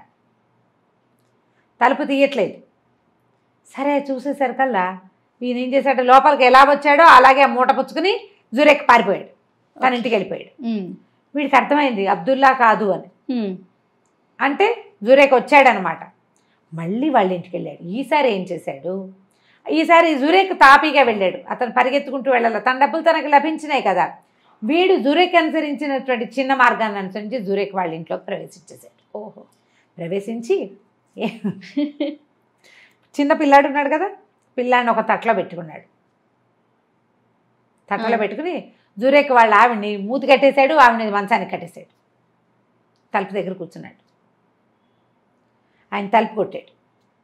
కొట్టంగానే జురేక్ భారీ గొంతుతో నిద్రపోయిన ఆడవాళ్ళ గొంతు ఏం చేసుకొచ్చావు? అని అడిగింది. అడిగేసరికల్లా. జురేక్ అన్నాడు సేమ్. ఏముంది? నా డబ్బులు పట్టుకెళ్ళిపోయింది దొంగ పక్షి అన్నీ తెచ్చేసాను పిల్లాడి పుట్టినరోజు చేస్తావా? అని అడిగింది. చేస్తానండి. ఏది డబ్బులు ఎక్కడ దాన్ని పెట్టు. అనగానే బుట్ట బయటకు వచ్చింది బుట్టలో డబ్బులు పెట్టాడు. డబ్బులు లోపల లాక్కున్నారు. అయిపోయింది. పెళ్ళాం ఎంతసేపటికి తలుపు తీయలే. ఈయనకి ఆశ్చర్యం వేసింది. ఏమిట్రా ఇది వెనకాల నుంచి తిరిగి వెళ్ళి చూశాడు. చూసేసరికల్లా పెద్ద చంటి పిల్లాడేమో లేడు. పెళ్ళామేమో కట్టేసింది. అసలు అతను మామూలుగా తను ఏ మార్గం గుండా బయటికి వెళ్ళాడో అలాగే వచ్చి ఉండొచ్చు. కానీ అలా చేయలే. చేయకపోవటం పొరపాటు అయిపోయింది అనమాట లోపలికి వచ్చేస్తుంటే పట్టుకోగలిగేవాడు. ఉమ్, ఉమ్, తాపీగా వచ్చాడు. దాంతో ఇంకా లబో దిబో. ఇక ఏం చేస్తారు. మళ్ళీ అక్కడి నుంచి పరిగెత్తుకుంటూ అబ్దుల్లా గారింటికి వెళ్ళాడు అబ్దుల్లా బతిమలాడాడు అబ్దుల్లాని. మా పిల్లని మాకు ఇచ్చేసేయండి అని చెప్పి. అనేసరికి హసన్ కూడా వచ్చాడు తెల్లవారేసరికి. నీ పిల్ల నా పిల్లాడి పిల్లాడికి వచ్చిన ఇబ్బంది ఏం లేదు. పిల్లాడిని అప్పచెప్పేస్తాం. డబ్బులు మాకు ఎలాగో వచ్చేసినాయి. తెచ్చేసాడు మావాడు మీ మేనగోడల్ని మావాడికి ఇచ్చి పెళ్ళి చేయి. అంటే. వీడేమన్నాడు? చేయటానికి ఏముందండి? మా పిల్ల సామాన్యురాలు కాదు. ఈ మొత్తం బాగ్దాద్ నగరానికి అంతా అందగత్తే మా పిల్లకి. ఆ మంత్రాల అజరయ్య కూతురు కమర్ పెట్టుకునేటువంటి కప్పుకునేటువంటి బంగారపు దుప్పటి ఆ అమ్మాయి పెట్టుకునే శిరోభరణం ఆ అమ్మాయి పెట్టుకునే వడ్డాణం ఆ అమ్మాయి పెట్టుకునే చెడావులు చెప్పులు ఈ నాలుగు తెచ్చిచ్చి కట్నంగా మా పిల్లకి ఇస్తే పెళ్ళి చేస్తా. ఓహో. ఓ అదెంత పని తెస్తానన్నాడు వీడు. జురేక్ నవ్వుతూ వెళ్ళిపోయాడు. హసన్ అబ్దుల్లా అన్నారు ఓరే నీ బొంద తేవటం అంటే సింపుల్ అనుకున్నావురా. అజరయ్య అంటే మామూలు వాడు కాదు వాడు మంత్రాల మారి వెండి ఇటుకలు బంగారు ఇటుకలతో ఇల్లు కట్టుకున్నాడు. వాడు ఉంటేనే ఆ ఇల్లు ఇతరులకి కనపడుతుంది. లేకపోతే అక్కడేం కనపడదు. వాడు మహామంత్రాలు మారి బంగ వడ్డీ వ్యాపారం చేస్తాడు. సాయంకాలం వెళ్ళాకే ఆ ఇల్లు తలుపు తెరుచుకుంటుంది. అప్పటిదాకా ఇల్లు ఉన్నట్టుగా కూడా కనపడదు. రోజు సాయంత్రం పూట రాత్రి ఇంటికి వెళ్ళాక ఆ బాల్కనీలో పెడతాడట పళ్ళెంలో బంగార పళ్ళెంలో ఇదిగో నా కూతురు కప్పుకునే దుప్పటి నా కూతురు కప్పుకునే పెట్టుకునే వడ్డాణం. ఎవరైనా బాగ్దాదు కైరో నగరంలో ఉన్న గజ దొంగలారా? వీటిని కనుక దొంగతనం చేయగలిగితే ఇవి ఇచ్చేసి మా పిల్లని కూడా ఇచ్చి పెళ్ళి చేస్తానని ఛాలెంజ్ చేస్తాడు. వాడు మంత్రాలు మారి మనుషులు గాడిదల్ని కుక్కల్ని చేసేస్తాడు. మన వల్ల కాదురా వదిలేసేయమన్నాడు. వదిలేస్తే మన ప్రజ్ఞ ఉంది ఉమ్, అంత అందగత్తెకి ఇంత విలువైంది ఇవ్వాల్సిందే. ఆ, దుప్పటి కప్పి ఆ చెప్పులు తొడిగించి ఆ వడ్డాణం పెట్టించి ఆ శిరోభరణం అలంకరించి దాన్ని పెళ్ళి చేసుకోవాల్సిందే నేను. కాబట్టి ఆ పని చేస్తానన్నాడు. బ బంగారు వస్తువులు తీసుకురావాలి. అజరయ్య కూతురు. సరే ఈ పాదరసం ఏం చేశాడు? అజరయ్య గారి ఇల్లు ఎక్కడంటే ఎవరికీ తెలీదు. ఎక్కడో ఉంటాడు ఆయన ఊరు బయట. అది వెండి బంగారు ఇటుకలతో కట్టిన ఇల్లట. మాంత్రికుడు. మాంత్రికుడు. మంత్రగాడు వడ్డీ వ్యాపారస్తుడు. సరే ఏం చేశాడు? అజరయ్య కొట్టు ఎక్కడో కనుక్కున్నాడు. ఆ కొట్టు చుట్టూతా చట్ల చచ్చట్లాడుతూ గడిపి సాయంకాలం ఆయన బంగారం అంతా అంటే వాళ్ళు వీళ్ళు వడ్డీకి పెడతారు కదా? తనఖా పెట్టిన బంగారం అంతా మూటల్లో వేయించి గాడిదలు కంచర్ గాడిదల మీద వేసుకున్నాడు. ఆయన ఒక గుర్రం ఎక్కాడు. ఆయన వెళ్తుంటే వీడు కూడా మెల్లిగా ఒక కంచర్ గాడిదని ఎక్కి ఆయన అనుసరించిపోయాడు. ఆయన నగర ద్వారాలు దాటి ఒక చోటకి వెళ్ళి నేల మించి ఒక గుప్పెడు ఇసుకని మంత్రించి చల్లాడు. చల్లేసరికల్లా అప్పుడు ఇల్లు కనపడడం మొదలుపెట్టింది. పెద్ద కోట అది. సరే బంగారు వెండి ఇటకలతోటి కట్టబడి ఉంది ఇది చూస్తూ ఉన్నాడు. ఆయన లోపలికి వెళ్ళిపోయాడు సరే లోపలికి వెళ్ళింది కాసేపటికి కాస్త ఫ్రెష్ అయ్యి ఆ బాల్కనీ దగ్గరకు వచ్చి నిలబడి కేకేశాడు. బాగ్దాదు కైరో నగరాన్ని అట్టుడికించే గజ దొంగలారా?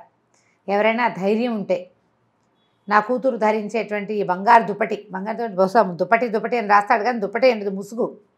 మేలి ముసుగు. పైన దీన్ని ఎవరైనా దొంగిలిస్తే ఎవరైనా దీన్ని పట్టుకెళ్ళగలిగితే వాళ్ళకి నా పిల్లని ఇచ్చి పెళ్ళి చేస్తా.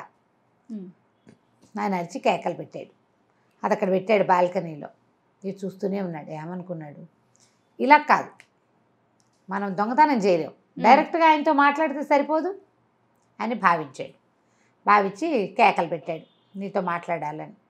అన్న సరే పిలిచాడు పిలిస్తే ఏమిట్రా నాయన అన్నాడు. నేను పలానా దిలైలా గారి కూతురు జీనాపిని ప్రేమించాను దాన్ని పెళ్ళి చేసుకోవాలంటే దాని మామయ్యన జురెక్కు. మీ అమ్మాయి ధరించేటువంటి ఆ ముసుగు ఆ శిరోభరణము ఆ వడ్డాణము ఆ వంగారు చెడావులు కావాలన్నారు అవి కాస్త దయచేయిస్తే నేను పోయి నాకు కావాల్సిన పెళ్ళి చేసుకుంటా అన్నాడు. అనేసరికల్ ఆయన అన్నాడు. ఏమిట్రా పొగరా? నేను పెట్టింది ఏమిటి ఇవి దొంగలు ఇచ్చిన వాడికి నా పిల్లని ఇస్తానని. అంతేగాని ఎవడికి కావాలంటే వాడికి ఇస్తానన్నాను నేను. పోపో అవేం కుదరదు అన్నాడు అనేసరికల్లా వెళ్ళిపోయాడు. మళ్ళీ రెండో రోజు సాయంత్రం మళ్ళీ ఆయన వచ్చాడు మంత్రించిన ఇసుక చల్లాడు వీడు పాదరసం కూడా ఆయన వెనకాలే వెళ్ళాడు. వెళ్ళి ఆయన అడిగాడు. మరి ఇవి ఇస్తే నేను పెళ్ళి చేసుకుంటా నాకు ఇంకో దారి లేదు అవి ఇస్తే కానీ వాళ్ళు పెళ్ళికి ఒప్పుకోరు అని. ఆయన ఒప్పుకోలే. వెళ్ళిపోమన్నాడు. అయితే ఇతను ఏం చేశాడంటే ఒక యుద్ధం చేస్తాను నీతోటని మీద పడ్డాడు కొట్టడానికి. ఆయన రెండు దెబ్బలు తీశాడు బయట విసిరేశారు. మళ్ళీ వచ్చాడు మూడో రోజు. వాడు వదలటల్లా మూడో రోజు ఆయన ఏం చేశాడు? గాడిదగా మార్చేశాడు వీడు ఈ కూతురు ఆయన కూతురు కమర అమ్మాయి కూడా అందగత్తే. వాళ్ళ నాన్న తాలూకు ఇవన్నీ దానికి తెలుసు. అది రోజు ఓ కుర్రాడు పదే పదే రావడం గమనిస్తున్నది వాడు పైగా అందంగా హ్యాండ్సమ్గా ఉంటాడు. చిన్న వయసు పదహారు పద్దెనిమిది ఏళ్ళ పిల్లలకి ఆ హ్యాండ్సమ్ అబ్బాయి అంటే ఏమిటని ఉత్సాహంగా చూస్తారు. ఎవరు వచ్చారు నాన్నతో మాట్లాడి చూస్తారు కదా. అయితే దానికి తెలిసింది ఈ వస్తువుల కోసం వీడు అడుగుతున్నాడు అని. మూడో రోజు గాడిద కింద మార్చేశాడు. మార్చేసి సామాన్లు వేసుకుని కొట్టు తీసిపోయాడు. ఆ గాడిద రూపంలోనే వాడు అక్కడే పడి ఉన్నాడు. అక్కడే ఉన్నాడు. ఉండేసరికి ఏం చేయాలి? మూడో రోజు సాయంత్రం మళ్ళీ ఇంటికి తీసుకొచ్చి మంత్రించిన ఇసుక జల్లి వాడిని మనిషిని చేశాడు. ఏరా అబ్బాయి వెళ్ళిపో నువ్వు ఇక్కడి నుంచి. నా వస్తువులు అయితే నేను ఇవ్వను. అనేసరికల్లా వీడన్నాడు నువ్వు ఏం చేసినా సరే అని మళ్ళీ కలబడబోయాడు. అవి కావాల్సిందే లేనిదే ఆ అమ్మాయికి కుదరదు. ఆయన ఏమన్నాడంటే ఇలా ప్రమాదకరమైనది పెట్టిన వాళ్ళని ఎట్లా నమ్ముతావురా నువ్వు? వాళ్ళు నీ మీదే ప్రేమ కలిగిన వాళ్ళు కాదు. వీళ్ళని నమ్మకూడదు. ప్రమాదకరమైన వస్తువులు తెమ్మని చెప్పారంటే వాళ్ళకి నువ్వు తేకూడదని ఉంది. మెయిన్ పాయింట్ అది. అయితే వీడు ఒప్పుకోలే. ఒప్పుకోపోయేసరిగా ఈ కమారు వీడి దగ్గరకు వచ్చి. అమ్మాయి వచ్చి నీకు చెప్పు నిజంగా? నేను కావాలా? నా వస్తువులు కావాలా? అని అడిగింది. నువ్వెవరికి కావాలి? నువ్వు నాకు అక్కర్లేదు. నాకు వస్తువులే కావాలన్నాడు అనేసరికల్లా ఆశ్చర్యపోయింది. ఏం చేసుకుంటావు? నువ్వు మగవాడివి కదా. దుప్పటి కప్పుకోలేవు స్థిరాభరణం ఆడవాళ్ళు పెట్టుకునేది నువ్వు పెట్టుకోలేవు. పాపిడి బిళ్ళ అనమాట అది. అది ఇక్కడ పెడితే ఇటు నుంచి ఇటు కూడా ఇక్కడ అన్నీ వస్తాయి. అది నువ్వు పెట్టుకోలేవు. వడ్డాణమా నీకు పట్టదు. నా చెడావులు నీకు ఎలాగో పట్టవు. నువ్వేం చేస్తావంటే కాదు నేను జీనాబ్ అని ఒక అందగత్తెని ప్రేమించాను. బాగ్దాద్ నగరంలోకి వెళ్ళా అందగత్తె అన్నాడు. అన్నాక వాడికి డౌట్ వచ్చింది. ఈ పిల్లని చూస్తే ఇది కూడా బాగుంది. ఈ పిల్ల చాలా బాగుంది. కానీ జీనాబ్ చాలా అందగత్తె. అందగత్తెని పెళ్ళి చేసుకోవడం కోసం వాళ్ళ మేనమామ ఈ వస్తువులు తెమ్మన్నాడు. బై ఎలాగైనా సరే మరి పట్టుకెళ్ళి ఇవ్వాలంటే నేను. మీ నాన్నేమో ఇలా అంటున్నాడు. అంటే అమ్మాయి ఏమంది? నాన్న నేను ఇచ్చేస్తాను నాకు వద్దు ఇవి. పోనీ పెళ్ళి చేసుకుంటాను అంటున్నాడు కదా అన్నది. ఆ పిల్లకి ఏంటంటే వీడు హ్యాండ్సమ్గా ఉండి వీడు నచ్చాడు. ఓ పిల్లని పెళ్ళి చేసుకోవటానికి చావు కూడా సిద్ధపడాలన్న వాడి ధోరణి అమ్మాయికి నచ్చింది. వాళ్ళ నాన్న ఒప్పుకోలేదు కానీ ఆ అమ్మాయి నావి కదా ఇవి అని వాడికి ఇచ్చేస్తాను. ఇక వీడు ఏం చేశాడు వాడు? పట్టుకెళ్ళిపోయాడు. వస్తువులన్నీ పుచ్చేసుకున్నాడు. ఇక్కడ వాడు నాలుగు రోజులు ట్రై చేశాడు. అతని శక్తి ఏమీ ఇక్కడ కుదరల. అంతకుముందు తెలివిగా చేశాడు. ఇక్కడ వాడి తెంపరితనమే నడిచింది. అంతే. ఆ పిల్లకి అర్థమైంది వీడు చాలా తెంపరివాడు అవతలమ్మాయిని పెళ్ళి చేసుకోవడానికి ఇంత చేస్తున్నాడంటే దాన్ని ఎంత బాగా చూసుకుంటాడు వీడు? ఇది కదా ఆడపిల్లకి కావాల్సింది మగవాడిలో. అలా ఫీల్ అయ్యి ఇచ్చేస్తాను. ఈ సామాన్లన్నీ పుచ్చుకుని అబ్దుల్ హసన్ దగ్గరికి వచ్చాడు. వచ్చి పదండి మనం దిలేలా కూతురుని చేసి పెళ్ళి చేసుకుందాం అన్నాడు. అనే సరకాలు వాళ్ళు అన్నారు ఒరే ఈ వస్తువులు ఎట్లా వచ్చినాయి? ఏంటంటే జరిగిందంతా చెప్పాడు. చెప్పేసరికి వాళ్ళిద్దరు అన్నారు నువ్వు కమర్ని పెళ్ళి చేసుకోవడం కూడా న్యాయం. ఎందుకంటే వస్తువులు ఇచ్చింది కదా. అమ్మాయి వస్తువులు ఇచ్చేసింది నీకు దాని పెళ్ళి కోసం ఉంచిన వస్తువుల పిల్ల పాపం అమ్మాయిని కూడా పెళ్ళి చేసుకోవాలంటే మరి దిలైలా వాళ్ళు ఒప్పుకోవద్దు? జీనాబు భార్య ఒప్పుకోవాలి. అక్కడికి వెళ్ళి వస్తువులు అప్పచెప్పి వస్తువుల మాట చెప్పి చెప్పేసరికల్లా ఏం జరిగిందో తెలుసుకున్న జీనాబు ఈ కమర్ని కూడా పెళ్ళి చేసుకోవడానికి ఒప్పుకుంది. మేమిద్దరం కలిసి ఉంటాం. దాన్ని కూడా చేసుకో ముందు నన్ను పెళ్ళి చేసుకో తర్వాత దాన్ని కూడా చేసుకో. నేను ఒప్పుకుంటేనే కదా పెళ్ళి అక్కడి నుంచి వాళ్ళ మేనమావకి వస్తువులు చూపించారు. ధూమ్ ధామ్గా దిలైలా తన నలభై మంది నీగురు బానిసలు నలభై వేట కుక్కలున్న దివాణంలో కాజీని పిలిచి అంగరంగ వైభవంగా కూతురికి ఈ పాదరసం అలీ అనే దొంగకి పెళ్ళి చేసేసారు. పెళ్ళి చేశారు. పెళ్ళి అయిన తర్వాత వీళ్ళంతా వెళ్ళి ఆ కమర్ని కూడా పెళ్ళి చేసుకున్నారు. పెళ్ళి చేసుకున్నాక కొంతకాలం వీళ్ళతోటి వాడు హాయిగా ఉన్న తర్వాత వీడికి బాగ్దాద్ నగరంలో సైనికాధికారిగా ఒక వద్ద ఉద్యోగం ఇప్పించారు వాళ్ళు. ఎందుకంటే వీడు అఘటన ఘటనా సమర్థుడు. ఏదైనా చేసేస్తాడు అజరై దగ్గర నుంచి బంగారం తేవడం సులువు కాదు. వాడు వాళ్ళ అమ్మాయిని పెస్టర్ చేసి వచ్చేలాగా చేసుకున్నాడు. ఓ నూతులో దిగి నూతులో తనంతట తను దిగి నేను అదేదో ఊళ్ళో సుడిగుండంలో చిక్కుని ఇక్కడ. తేలానని వాళ్ళని నమ్మించాడు. ఏదైనా చేసేయగలడు. అందుకని వాడిని వాడికి సిఫార్సు చేయాలి ఎవరైనా. అబ్దుల్ హసన్తో పాటు దిలైలా కూడా సిఫార్సు చేసింది వీడు మామూలు వాడు కాదు. వీడు ఎలాంటిదైనా సైనిక శిక్షణ అధికారి. సైనికులకి రకరకాల చోట్లలోకి వెళ్ళి దొంగతనంగా వార్తలు ఎలా తెలుసుకోవాలి ఆ విషయాన్ని నేర్పించడం కోసం వీడిని వెయ్యి రూపాయల వెయ్యి దినారాల జీతానికి ఖలీఫా దేవ రాజ్యంలోనే ఉద్యోగం ఇప్పించారు. కథ కంచికి మనం ఇంటికి. సూపర్. చాలా బాగుంది రమ్మ గారు. సిరీస్ మొత్తం కూడా ఇంట్రెస్టింగ్ చాలా ఇంట్రెస్టింగ్ అనిపిస్తుంది. మళ్ళీ ఇంకొక మంచి ఇంట్రెస్టింగ్ సిరీస్? తోటి కలుసుకుందాం. తప్పకుండా. నమస్తే చేయ నమస్తే.